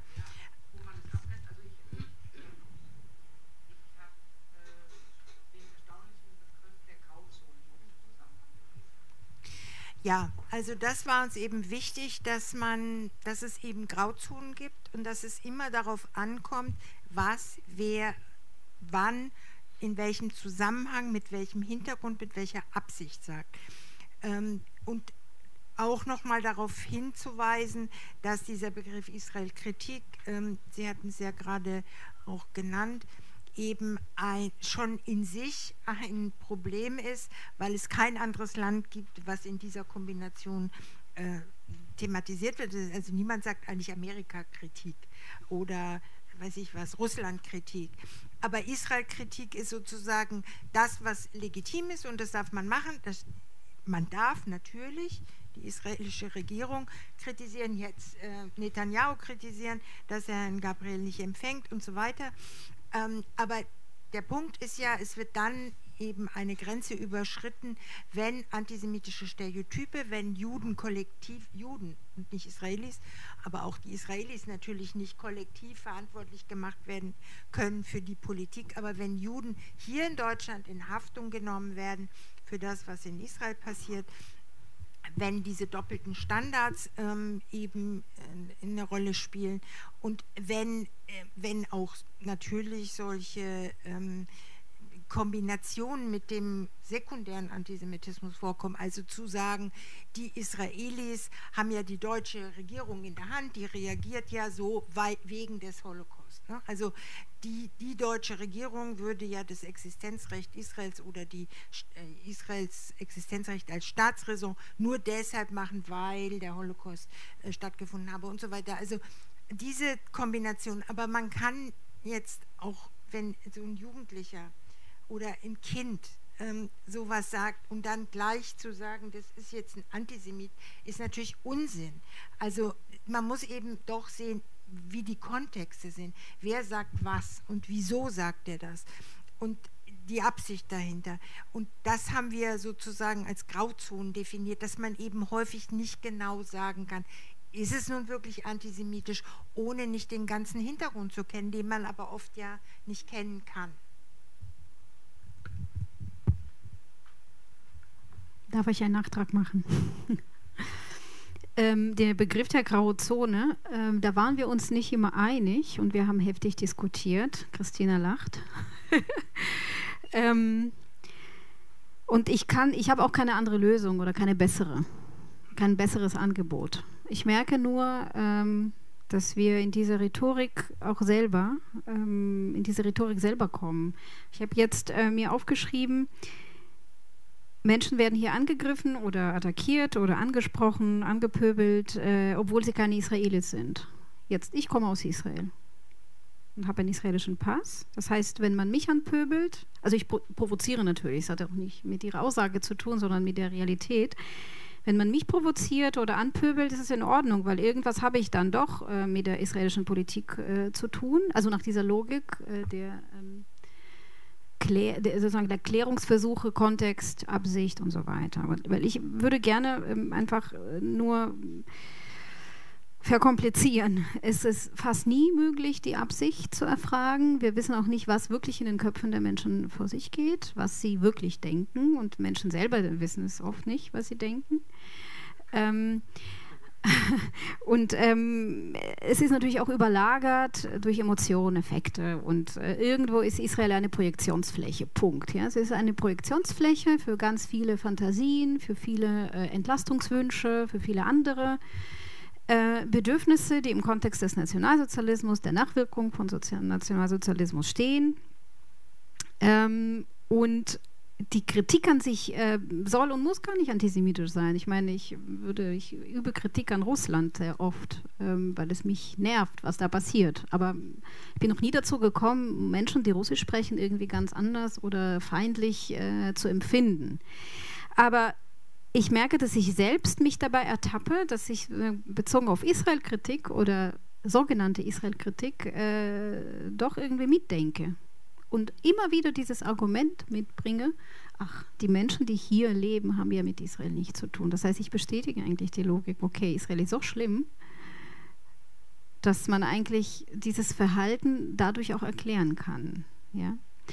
Also für mich ist israelbezogener Antisemitismus immer irgendwie Antisemitismus, irgendwie, weil sonst spreche ich von Kritik, von irgendeiner Kritik, sonst spreche ich einfach von ähm, genau, es ist ein Ventil. Ist, ist, ist auch diese Art der Zuschreibung, also was Sie, ähm, was Sie auch geschildert haben, äh, auch ein Teil, ein, eine Kategorie dieses Fremdmachens, dass man auch deutsche Juden automatisch für Israel mitverantwortlich macht? Ich glaube überhaupt. Im Umgang mit, also in der Versuch, der Versuch zu klären, was es bedeutet, ähm, diskriminiert zu werden und was es bedeutet, auch zu diskriminieren, wenn es um Minderheiten geht. Ähm, können Menschen nicht einer gruppenbezogenen Diskriminierung systematisch unterworfen werden, wenn sie nicht fremdgemacht wurden vorher. Weil das tun wir unserer Familie nicht an, also zumindest in, im Idealfall, das tun wir unseren Freunden nicht an, sondern diejenigen, die wir diskriminieren, diskriminieren möchten, diskriminieren müssen, äh, bewusst, unbewusst, gezielt oder ungezielt, völlig egal. Sie, sie müssen außerhalb unseres Kollektivs oder unserer Gruppe irgendwie gewesen sein. Oder sie, sie platzieren sich, sie werden platziert außerhalb der eigenen Mitte. Sonst ist es peinlich, sonst ja, können wir das schlecht ertragen. Und äh, die Sozialpsychologie erklärt das wunderbar, ja, durch verschiedene Theorien der Gruppenparadigmen und so weiter, warum bestimmte Menschen wie markiert werden und wo platzieren sie sich oder wo werden sie platziert. Das heißt, das Fremdmachen ist ein immanentes, äh, äh das ist ein Mechanismus. Jetzt bei diesem, in diesem Kontext spannt mich die Frage, was sind die Rahmenbedingungen oder die Faktoren, die es immer noch ermöglichen, Juden als eine Fremdgruppe zu konstruieren? Weil Juden sind hier in der Konstruktion eine Fremdgruppe. Sonst kann ich mir ähm, nicht erklären, warum Juden so häufig gefragt werden, wenn man weiß, okay, sind die ein Jude, aber nicht nur Juden, ja, es geht ja vielen anderen Minderheiten äh, auch so. Wie ist das Wetter in deiner Heimat? Oder sie sprechen aber gut Deutsch. Na gut, für mich äh, gilt das. Ja, ich bin hier nicht aufgewachsen, aber für Menschen, die hier aufgewachsen sind, die Deutsche sind, ist das schon eine Beleidigung. Ja, wenn, wenn sie in ihrem Alltag beim Brötchen kaufen immer wieder gefragt werden, sagen sie, wo kommen Sie eigentlich her? Wieso fragen Sie mich? Ja, weil Sie Locken haben. Also ich glaube, dieses Fremdmachen äh, muss ja gar nicht dramatisch sein oder, oder äh, groß. Es kommt durch subtile Unterstellungen, nicht dazu zu gehören. Und ähm, es ist im Antisemitismus genauso präsent oder vorhanden wie äh, im Rassismus. Ja, wenn eine Frau mit äh, entsprechendem Aussehen gefragt wird, sagen sie, wo kommt sie denn her? Aus Deutschland, aber ihre Eltern auch aus Deutschland, ihre Großeltern. Was will man da klären? Was ist das her für ein Bedürfnis? Was steht dahinter? Eine Rassentheorie. Das ist natürlich den meisten nicht bewusst. Ja, warum kann eine deutsche Frau nicht, äh, wenn sie schwarz ist, nicht deutsch sein? Warum soll sie, muss sie ja, mit solchen Fragen konfrontiert werden? Das ist im jüdischen Kontext genauso. Und das ist auch in der Studie abgebildet. Die Mehrheit, die überwiegende Mehrheit gibt an, durch solche Fragen belästigt zu werden. Und zwar ständig, das ist alltagsprägend, das ist Ihr Begriff von gestern, Herr Beck, und alltagsrelevant ähm, und ähm, ja, eigentlich im Fokus äh, dieser Befragung. Die tiefen Interviews geben einen Aufschluss darüber, was es bedeutet. Vor allem, da muss man nicht zu Gewalt kommen, vor allem dadurch sozusagen verändert ja, äh, zu ist, werden, fremdgemacht ähm, werden. Ja. Ist dadurch, dass man jetzt anders drüber spricht, haben wir eine Änderung in der deutschen, das ist meine Frage an, an Bodemann, ähm, eine langsame Normalisierung im Umgang mit unserer jüdischen Minderheit oder äh, wie ähm, ist das nach wie vor ein Tabu, mit Juden, über Juden zu sprechen in Deutschland? Ja, ich glaube, es ist eine ganz ungewöhnliche Situation im Vergleich zu allen anderen Ländern, die ich kenne, wo eben Juden völlig eine ganz zentrale gesellschaftliche kulturelle Bedeutung haben. Das, das fängt ja schon ganz äh, von Anfang ich, ich, das muss ich jetzt reinwerfen hier, weil wir gerade von äh, was du gesprochen hast darüber, kam mir das in den Kopf. Eine meiner vielen Töchter ging auf die jüdische Grundschule in der Bleibtreustraße damals und äh, äh, da gab es dann den, den, Schulhof, der, gemein, der gemeinschaftlich äh, geführt wurde von den jüdischen Kindern und den christlichen Kindern, wie es so hieß. Und äh, die, auf, wenn sie sich auf dem Schulhof getroffen haben, haben die einen gerufen, scheiß Juden und die anderen haben gerufen, scheiß Christen. Und das ging also hin und her. Aber es war im Grunde auch eine Art und Weise, um sich, das will ich noch sagen, um sich gegenseitig sich kennenzulernen. Ist ja auch was. Das geht dann negativ, in eine negative Art und Weise, indem man sich dann äh, vielleicht äh, das Fremde aneignet wiederum. Und äh, da die, Verbindung schafft, die einfach eine Brücke schafft, die anderweitig nicht möglich wäre, wenn man sich sonst überhaupt nicht äh, aufeinander beziehen kann. Ich habe, glaube ich, nicht deine Frage beantwortet.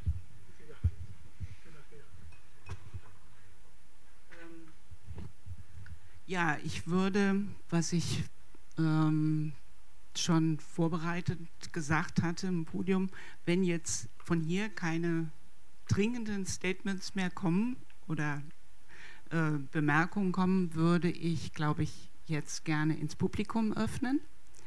Wir haben ein Saalmikrofon und ich würde Sie bitten, das auch zu benutzen, weil, wie gesagt, die äh, Veranstaltung ja erstens aufgezeichnet wird und zweitens übertragen wird.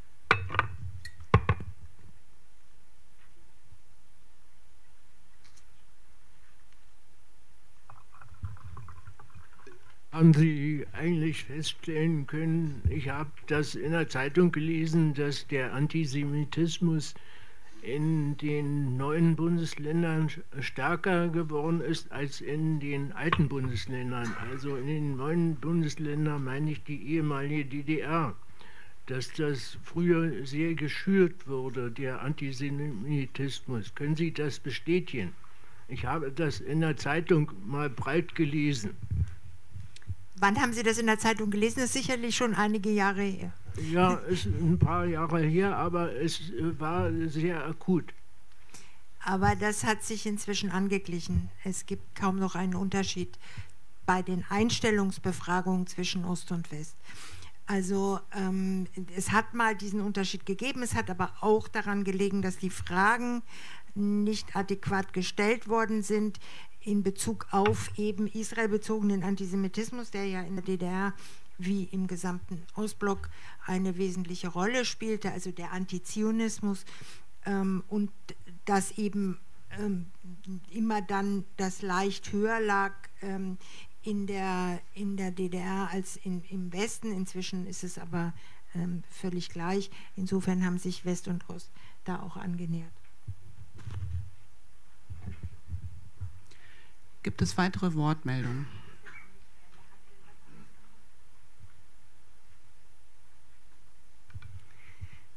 Ja, ich, ähm, ich habe eine Frage und zwar ähm, vor dem Hintergrund auch, dass ich immer gerne wissen möchte, ähm, was sind Erklärungsmuster für Phänomene, damit man dann äh, pädagogische Antworten finden kann. Und mir ist doch nachgegangen äh, diese kleine Diskussion um die Frage, warum dies der erste Bericht ist, wo die jüdische Perspektive oder Erfahrungswerte aufgenommen wurden. Ähm, wir haben das ja im ersten Bericht probiert. Warum das dann nicht geklappt hat, ist ein anderes Thema. Aber ich habe mich gefragt, ob die Analyse, die hier kam, ob die wirklich so zutrifft. Weil, wenn ich es jetzt in Korrelation setze zum Umgang mit dem Nationalsozialismus, haben wir ja eigentlich ein ganz anderes Phänomen, dass nämlich es total schwierig war, die Frage der Täter zu benennen, weil äh, eine permanente Opferidentifikation war und man die Frage der Täter und Tatkomplexe nicht anfassen wollte. Und wenn ich das wieder als Korrektiv sehe, frage ich mich, und da würden mich Ihre aller Meinungen interessieren, ob es nicht sein kann, dass die Tatsache, warum Antisemitismus immer eher auf die Frage, wer sind denn die Antisemiten, äh, fokussiert war, weil wenn ich es richtig erinnere, die Studien, die gemacht worden sind, genau von den Leuten gemacht wurden, die entweder selber Überlebende waren oder die wissen wollten, wie sich denn das im Nachkriegsdeutschland entwickelt mit dem Antisemitismus. Und dass also die Tatsache, dass man jüdische Erfahrungswerte nicht wahrgenommen hat, eher damit bedingt ist, dass diese Gesellschaft, wie Astrid Messerschmidt ganz richtig formuliert, sich ja selbst bis heute als total homogen weiß definiert und überhaupt nicht wahrnimmt, dass sie andere Minderheiten inzwischen hat. Also ob man für diese Frage nicht andere Erklärungsmuster haben muss als diese Zentrierung nur auf das eigene Ich, weil das will man ja eigentlich. Eigentlich will man sich ja genau damit nicht auseinandersetzen. Also das würde mich noch interessieren. Ich wollte nur ähm, sehr gerne auf deine Frage eingehen, weil wir ganz sicher nicht alle Analysen äh, hier präsentieren können oder alle Gedanken, die uns durch den Kopf äh, gegangen sind. Aber einen Rückgriff äh, auf die Rassismusforschung kann ich mir hier erlauben. Es gab tatsächlich auch äh, dazu kaum Studien und kaum Expertisen, weil, wie Messerschmidt es auch sehr treffend formuliert, äh, die deutsche Gesellschaft A sich mit sich äh, auseinandergesetzt hat, in welcher Form auch immer. Aber ja, es gab eine starke Zentrierung äh, äh, auf sich selbst und auf eigene Befindlichkeiten im Umgang damit. Ähm, das betrifft die Wissenschaft ja auch. Das sind ja auch Menschen, die in der Wissenschaft dann ihre Prägung ausleben. Und ähm, ja, homogen deutsch-weiß sozusagen ähm, und dann aber dennoch demokratisch und ähm, eine Gesellschaft, die den Holocaust überwindet oder Nationalsozialismus überwindet und noch vieles andere ähm, die sich doch, do, doch auf die täterfokussierte Forschung stürzt, irgendwann 80er Jahre. Ähm, und nicht auf die Fokussierung bezogen auf die betroffenen Gruppen oder Minderheiten. Es ist alles im Werden und alles im Prozess, ähm, aber da sind ganz viele verschiedene Baustellen, die zu benennen sind. Im Kontext der Auseinandersetzung mit jüdischen Erfahrungsräumen könnte noch ein Beispiel oder ein Grund ähm, dafür ähm, herangezogen werden oder eine Erklärung. Ähm, dass es vielleicht doch ähm, schwierig sein kann. Also vielleicht sind das Erfahrungsräume, die man gar nicht haben möchte.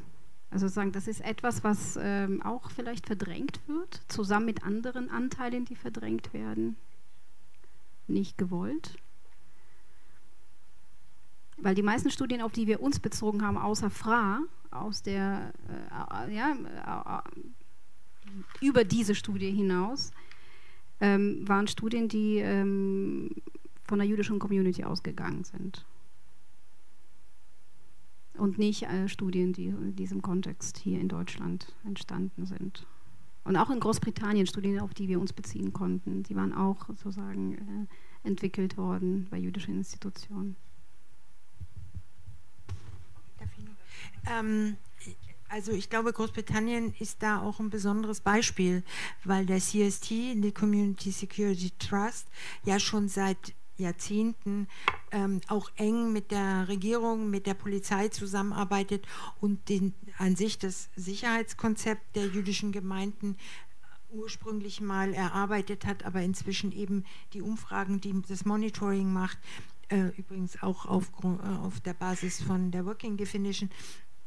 Also ich glaube, das ist ein bisschen anders wie hier. Und die FRA-Studie ist ja, ist ja auch etwas gewesen, die tatsächlich, eine Studie, die erste Studie gewesen, die tatsächlich, und das hattest du eben, weil du vorhin sagtest, die einzige Studie, FRA war ja mit 2013 schon oder 2012 äh, die erste, die überhaupt die, die, die Perspektive der Betroffenen auch äh, mal abgefragt hat und in mehreren Ländern sicherlich auch nicht besonders gut durchgeführt und so weiter. Aber immerhin, sie hat das gemacht. Und ähm, du, Elke, hattest die wahrscheinlich die Studie oder die um, ersten Umfragen von Alfons Silbermann, denn das sind ja die zentralen Umfragen, auf denen sich dann auch die zum Beispiel der Kollegen Bergmann und Erbner gestützt haben und dann auch weitere Umfragen, bis dann die Bielefelder das wollte ich noch mal sagen, weil vorhin so die Frage war, es kommt immer darauf an, welche Fragen man stellt. Aber das Wichtige ist eben auch, dass zum Beispiel diese Bielefelder Studie der gruppenbezogenen Menschenfeindlichkeit, die auch Antisemitismus abgefragt hat, über zehn Jahre regelmäßig abgefragt hat. Da kann man also im Grunde genommen Tendenzen sehen. Man muss das nicht immer eins zu eins nehmen, aber diese Tendenz, die, die dort klar wurde, ist die wichtige Erkenntnis aus diesen Bielefelder Studien, dass man eben wirklich mal über einen längeren Zeitraum beobachten kann. Und sie haben ja auch teilweise 300 Leute immer wieder befragt, dieselben. Also nicht nur die repräsentative Umfrage gemacht, sondern auch noch eine Gruppe immer wieder befragt, in, um, um, zu sehen, hat sich da was verändert. Und ich glaube, das ist das Zentrale, was dann bei diesen Studien äh, wichtig ist und nicht unbedingt immer jede, eins, jedes einzelne Ergebnis. Ähm, hallo, hier drüben. Ähm, ich habe eine relativ laienhafte äh, Bemerkung vielleicht zu machen und äh, eine Frage zu stellen. Ähm, als Jüdin, die in Deutschland aufgewachsen ist, sehr, sehr wenig mit Judentum überhaupt zu tun hat, finde ich, dass wir eine Sache ähm, vielleicht noch bemerken sollten, und zwar, dass ähm, dass das Judentum ähm, im Zusammenhang gerade mit Antisemitismus ähm, für viele Menschen in Deutschland gerade eine unglaubliche Überforderung darstellt, wenn man alleine schon die Frage diskutieren muss, was ist überhaupt ein Jude? Ne, für viele Menschen ist es eindeutig eine Religionszugehörigkeit, für andere ist es eine Ethnie. Es ist in Deutschland total schwer, überhaupt darüber zu sprechen, finde ich. Was ist ein Jude? Ich habe ähm, Unterhaltungen in Taxis darüber, über dieses Thema. Bitte? Das sind die allerbesten, absolut. Und es sind auch die aufschlussreichsten, wie ich finde. Ähm, und die Frage, die ich mir stelle, wenn ich Ihnen so zuhöre, ich bin heute hier, um was zu lernen, weil ich sehr wenig über Ihre Studie natürlich noch weiß. Und ähm, die, die Frage, die ich mir stelle, ist, muss das Ziel eigentlich aller Bemühungen in der Richtung, muss das Ziel nicht sein, dass es völlig egal ist? Ob es hier jetzt um Juden geht oder nicht. Also, dass die, das, ne, was Sie auch vorhin sagten, diese ganzen Mechanismen, die im Rassismus äh, so ähnlich sind wie im, ähm, wie im Antisemitismus, also ne, was man alles so findet an Notwendigkeiten, irgendeine Identität herzustellen, die mir eine Möglichkeit gibt, Komplexität zu reduzieren. Und sind nicht gerade Juden als Bevölkerungsgruppe so ein gutes Ziel, sage ich mal, ähm, weil sie die Komplexität in, ihre, in ihrer ganzen Wesenheit sozusagen schon stellen und in Deutschland so lange kein äh, sichtbares Leben gelebt haben, dass man überhaupt die Frage wirklich guten Gewissens stellen darf. Ich bin durch den ganzen deutschen ähm, Schulweg gegangen. Ich habe hier im Jüdischen Museum angefangen. Als ich da angefangen habe zu arbeiten, habe ich überhaupt was darüber gelernt, was jüdisches Leben bedeutet. Da war ich 25. So, also es ist nicht wirklich einfach zugänglich ne, für die Menschen und ich habe eine wirklich gute Ausgangsposition gehabt, muss man sagen. Aber ich weiß für die Leute um mich herum, die Leute wissen sehr wenig darüber. Was ist jüdisches Leben eigentlich? Was ist ein Jude?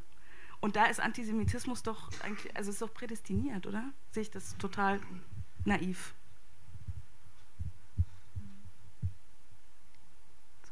Ich bin Ihnen dankbar, dass Sie das verkomplizieren, weil Sie das auf den Punkt bringen. Es ist total komplex und verkrampft. Und äh, es war auch die Frage an, an Sie äh, äh, vorher gerichtet, ähm, ist der Umgang irgendwie ein anderer? Wenn in Kanada auf dem Schulhof sozusagen, hey, scheiß Jude und scheiß Christ und... Ah, das war in Berlin? Okay, ich habe das falsch verstanden. Ah ja, okay. Aber ich habe mir sozusagen so einen Schulhof imaginiert in Kanada, wo sozusagen äh, zwei Jugendliche sich äh, so beschimpfen und eigentlich ohne Probleme trotzdem auseinandergehen und dann sagen, gut, äh, ja, wir haben uns kennengelernt. Habe ich mir irgendwie das so imaginiert. Und in Berlin habe ich das eigentlich so nicht erlebt. Aber ähm, soll ich mir diese Identität ähm, zulegen? Also soll es um Juden gehen? Ich glaube,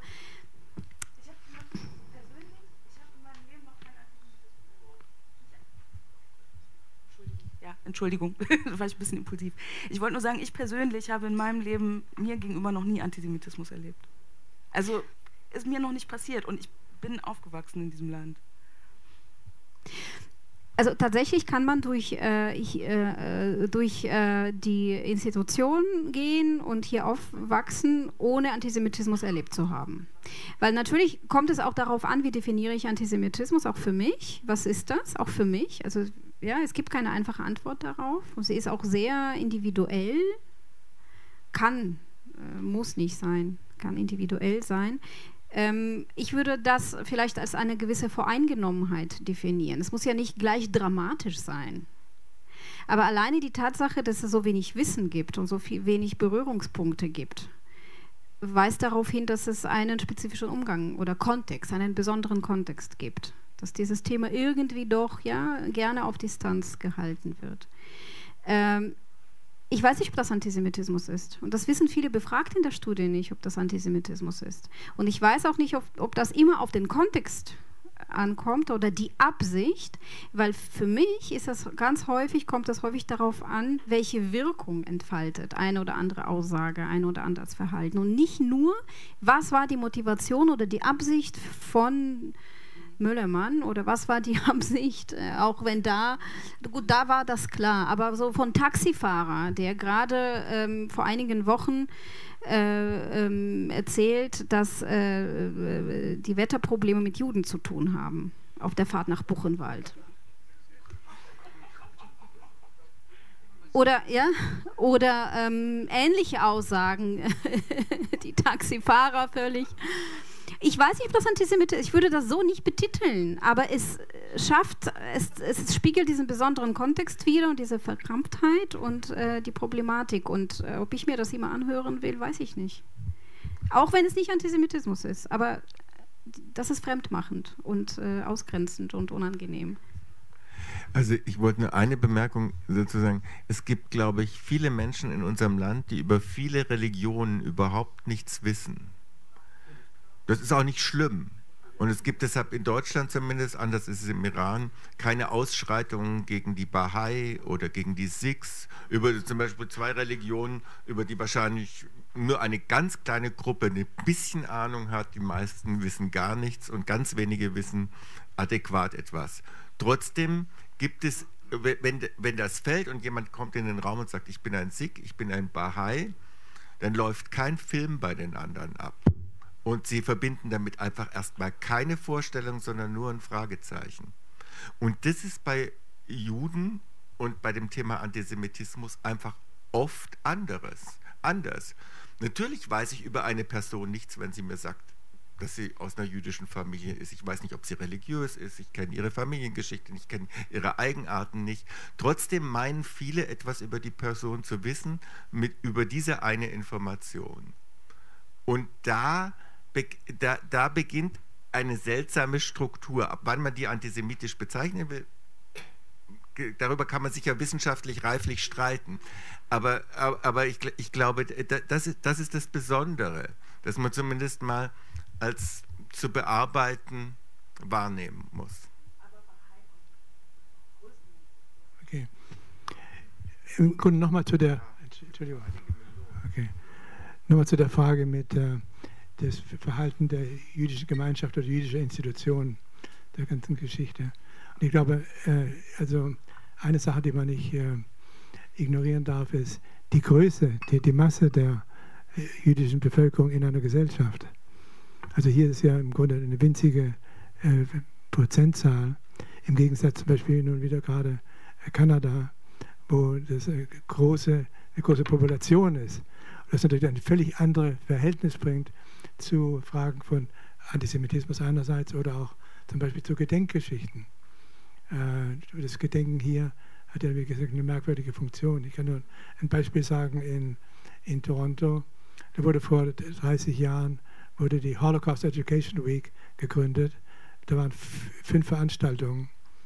Heute sind es äh, über 150 Veranstaltungen, also immer um den 9. November herum, mit Zehntausenden von Leuten, die da teilnehmen. Und zwar dann, es ist völlig zentriert von, von jüdischen äh, Gruppen, vor allem sind es Frauenorganisationen, die diese Sache koordinieren und die dann äh, hineinreichen in die nichtjüdische Gemeinschaft. Auf eine Art und Weise, wie das hier natürlich nicht vorstellbar war, wäre. Aber einfach aus dem Grund, dass eben die, die, die, die Zahlen anders, anders sind. Nicht? Das macht einen großen Unterschied aus. Und im Grunde sind natürlich Juden hier, im Gegensatz zu Deutschland sind in Kanada Juden äh, jüdische Praktiken und Traditionen und so weiter sind ja viel mehr bekannt. Meine Sekretärin würde sagen, okay, du bist ja dann nicht da, weil das Rosh Hashanah ist. Im Gegensatz zu meiner Tochter, die am Jüdischen Museum gearbeitet hat und der gesagt wurde, also äh, äh, Naomi, du musst äh, morgen nicht arbeiten, hier ist ja Rosh Hashanah und. Und ich wusste, was dann, wie ich darauf reagieren sollte.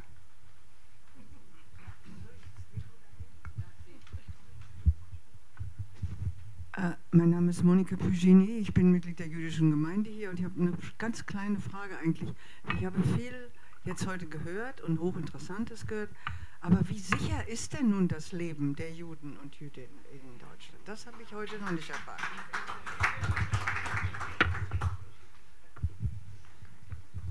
Ja, wer auf dem Podium würde darauf eine Antwort geben? Ja, ich glaube, das ist schwer zu sagen. Die Sicherheitsvorkehrungen sind ja ähm, deutlich erhöht worden vor 10, 15 Jahren. Also nicht aktuell, sondern das ist ja schon eine längere äh, Zeit. Äh, ich weiß nicht, die Poller an, an der ähm, ehemaligen Hauptsynagoge in der Oranienburger Straße. Frau Trubig, wissen Sie das noch, wie lange das her ist, dass die einge... Also das war ja immer bewacht, aber diese Poller ist ja doch nochmal ein zusätzlicher Sicherheitsaspekt. Na, ich glaube, es war sogar früher schon. Aber gut, ähm, jedenfalls die Sicherheitsvorkehrungen sind getroffen. Das hat aber nichts damit zu tun, wie sicher können sich Juden hier in Deutschland fühlen. Das ist ja klar. Äh, denn äh, all das, das, was in Friedenau passiert ist, das, was immer mal, was wir in Wuppertal gesehen haben, das war ja eher ein, eine Schmiererei, also kein Anschlag auf, äh, auf Personen. Äh, Gewaltakte gibt es im, ungefähr in den letzten, wir haben also von den Straf- und Gewalttaten, habe ich ja vorhin noch nichts gesagt, die sind natürlich auch in dem Bericht, äh, sind bei Gewalttaten sind es etwas 30 bis 40 jährlich. Das ist das, was de, die Landeskriminalämter, Bundeskriminalamt dann als Zahlen, die sind jetzt gerade, kommen jetzt gerade wieder raus, äh, jährlich zusammenfasst. Gewalttaten. Darunter fallen auch Friedhofsschändungen, wenn sie gewalttätig sind, also das heißt nicht nur Schmierereien, sondern ähm, etwa Steine umgeworfen werden. Ähm, an Straftaten sind es etwa, sagen wir mal, zwischen 1300 und 1600 in den letzten Jahren, in den letzten 20 Jahren oder 15, 20 Jahren. Ähm, und da ist der 90 Prozent des Hintergrunds ist rechtsextrem. Also auch das nochmal ein wichtiger Hinweis auf die Zuschreibungen, die immer wieder passieren. Aber wie sicher ist das Leben? Ich kann es nicht beantworten. Und ich glaube, das kann keiner von uns und war auch jetzt ähm, nicht Thema im Expertenkreis im Sinne von Sicherheit. Ja, ja, im Sinne von Sicherheit. Aber sowas, wie es eben in Großbritannien gibt, der CST, die Community Security Trust, die genau für die Sicherheit der Gemeinden auch sorgt, in Zusammenarbeit mit der Polizei und, ähm, und den, den Behörden, gibt es eben hier nicht. Und ähm, ich glaube, es gibt auch immer wieder Streitigkeiten darüber, wie viel Geld den jüdischen Gemeinden zur Verfügung gestellt wird, damit sie die Sicherheit ähm, gewährleisten können. Ähm, aber ich weiß nicht, ob du dazu mehr sagen kannst oder vielleicht. Also über die Viktimisierungsrate nach Selbstangabe steht was drin mit 3 Prozent ähm, im, innerhalb der letzten zwölf Monate äh, also und 8 Prozent bei den äh, eines ein Familienangehöriger. Ähm, Sie meinen Viktimisierungsrate, Sie meinen dann tatsächlich körperliche Angriffe, ja. Äh, wo, wobei wir nicht wissen, was das für Angriffe waren. Also nicht mhm. alle haben dann das offene Feld äh, ausgefü ausgefüllt. Mhm. Wir wissen nicht, was waren das Steine werfen oder waren das andere Angriffe.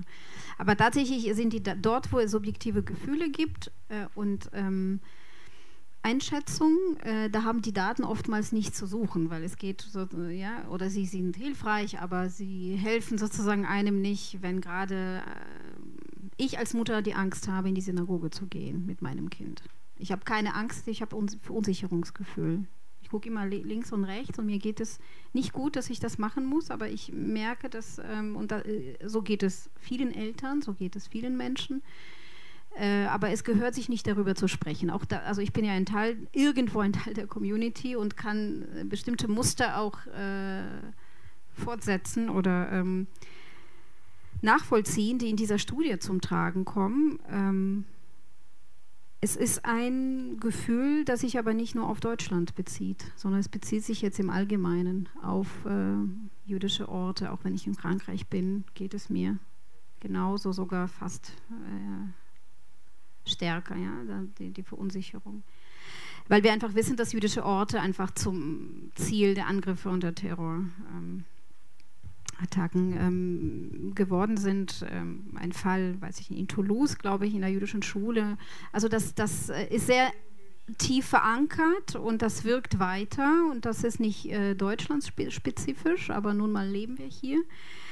Ähm, also zumindest in der Studie kommt es schon sehr klar zum Tragen, dass das Sicherheitsgefühl äh, der meisten Befragten sehr darunter leidet. Ähm, das ist auf das äh, es gab ein Item zum Wohlbefinden, dass auch das allgemeine Wohlbefinden sehr darunter leidet. Ähm, aber verstärkt und das kam auch in den qualitatives Interviews, die übrigens Professor Dr. Julia Bernstein geführt hat. Und das hat sie auch wirklich meisterhaft gemacht, weil sie wirklich in die Tiefe äh, gegangen ist und sehr viel rausholen konnte.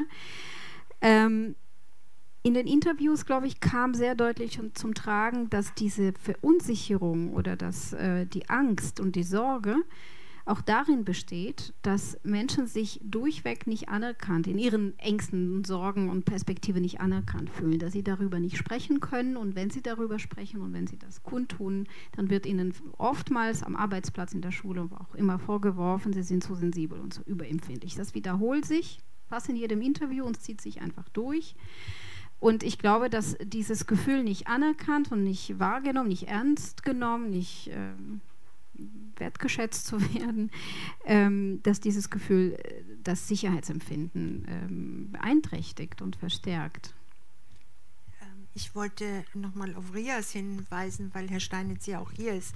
Ich glaube, das ist noch eine wichtige Erkenntnis, die wir auch von Rias übernommen haben, nämlich, ähm, dass das Meldeverhalten eben äh, ja, zwar in den Letz-, im letzten Jahr etwas gestiegen ist, aber sozusagen das Problem ist, dass viele, die, ähm, die angegriffen werden, die sich die Pöbeleien ausgesetzt sind, die auch im, im Internet, das ist ja sozusagen wirklich das Medium, wo, wo auch Hassbotschaften ähm, verbreitet werden, ähm, dass sie sich nicht trauen, das zu melden, auch wenn es, selbst wenn es strafrechtlich relevante ähm, Übergriffe sind, weil sie Angst haben, sie werden ähm, nicht ernst genommen, sie werden äh, von der Polizei vielleicht auch irgendwie dumm befragt oder ihr Name erscheint. Und das ist sozusagen der Vorteil, der jetzt bei RIAS möglich ist, bei der Meldestelle hier in Berlin, die sich ja hoffentlich bald auch äh, auf breitere Teile der Bundesrepublik ausdehnen wird, ähm, dass man dort eben melden kann und das anonym bleiben kann, wenn man das will. Oder RIAS sogar hilft dann ähm, bei der strafrechtlichen Verfolgung. Und das war etwas, was lange gefehlt hat. Also diese, äh, diese Möglichkeit zu melden bei einer NGO, also nicht bei der Polizei oder bei einer offiziellen Behörde, sondern bei, bei einer NGO, die das dann weiterverfolgt, wenn, wenn derjenige das, ähm, äh, dem zustimmt.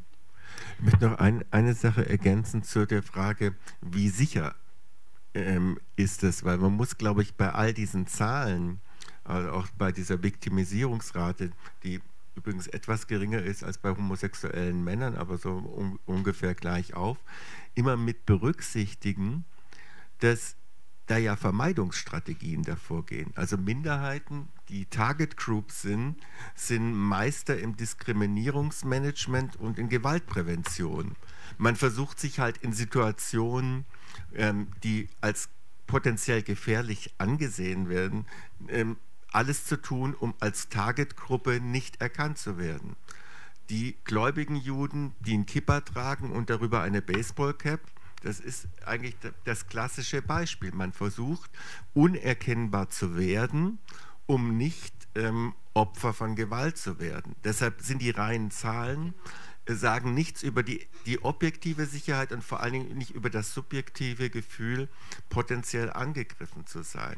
Und erst wenn man den, das Baseball Cappy abzieht, wenn man die Polizeiwagen vor den Synagogen abziehen kann, ohne dass man sich Sorgen machen muss, da, da, dass etwas passiert, und, und, wenn meine Nachbarn ihre Kinder nicht mit dem Taxi zur jüdischen Schule tra transportieren lassen, Erst dann weiß man, was eine Viktimisierungsrate tatsächlich über die Sicherheit dieser Gruppe sagt. Und das muss man immer mit reinbeziehen, weil man ist oft mal die Gefahr, und das hat man ja auch wieder bei dem Bericht gemerkt, Zahlen haben eine magische Bedeutung und jeder sucht nach Zahlen und guckt, ist es ein, ein halbes Prozent besser oder schlechter geworden als der, im, im, letzten Jahr. Ähm, solche Kontexte muss man bei der Frage äh, als Antwort dann immer mit berücksichtigen. Ich wollte noch ganz kurz ergänzen, hier sitzt Herr Steinitz, du wolltest auch was sagen. Ähm, wir waren zusammen in einer Gemeinde, die äh, sich als orthodox versteht. Das heißt, Menschen in diese Gemeinde gehen, kleiden sich dementsprechend und sind auf der Straße erkennbar. Und sie leben auch in einem Kids. Und äh, die, in diesem Kids leben auch viele Menschen ähm, aus unterschiedlichen anderen Ländern, auch äh, muslimische Menschen. Äh, wenn man dort fragt, wie viele von euch haben etwas erlebt in den letzten zwölf Monaten? Da gehen die Hände hoch. Das sind Menschen, die erkennbar sind auf der Straße, und, ähm, aber diese Strategie ähm, macht sich auch da breit. Ach so, man kann das melden. Oder es gibt sogar Beratungsangebote wegen sowas. Weil ganz äh, oft auch in den Befragungen kommt das Muster, wissen Sie was, meiner Großmutter ging es schlechter. Das, was ich heute erlebe, ist ein Grundrauschen diese Aussage lässt mich nicht los, ja, äh, weil äh, natürlich werden solche Erfahrungen auch tradiert und sie prägen die Menschen und äh, tragen dazu bei, dass sie verschiedene Strategien entwickeln, damit umzugehen. Manchmal darf man ihnen diese Strategien auch nicht wegnehmen, weil äh, sie dann dekompensieren können. Ja? Das, sie sind auch hilfreich. Ich würde an diesem Punkt jetzt einen Schnitt machen ich bin auch sehr dankbar nochmal für die Frage gewesen, äh, die sich auf unseren Titel bezieht. Wir haben äh, bewusst diesen Titel gesetzt, der natürlich auch ein bisschen provokativ sein sollte. Ähm, wir haben heute Abend nicht über Folgerungen, Präventionsmaßnahmen, Empfehlungen, die die Studie auch enthält, gesprochen. Auch das haben wir nicht bewusst gemacht, sondern ähm, es war der Versuch, sich wirklich dem Problemfeld zu nähern und ähm, überhaupt mal zu definieren, über was reden wir eigentlich. Und ich hoffe, dass wir das ein bisschen vermitteln konnten. Ich danke Ihnen ganz herzlich für Ihre Aufmerksamkeit, aber natürlich danke ich vor allen Dingen meinen Gästen hier und dem Podium für die anregende Debatte und ich wünsche noch einen guten Heimweg. Danke.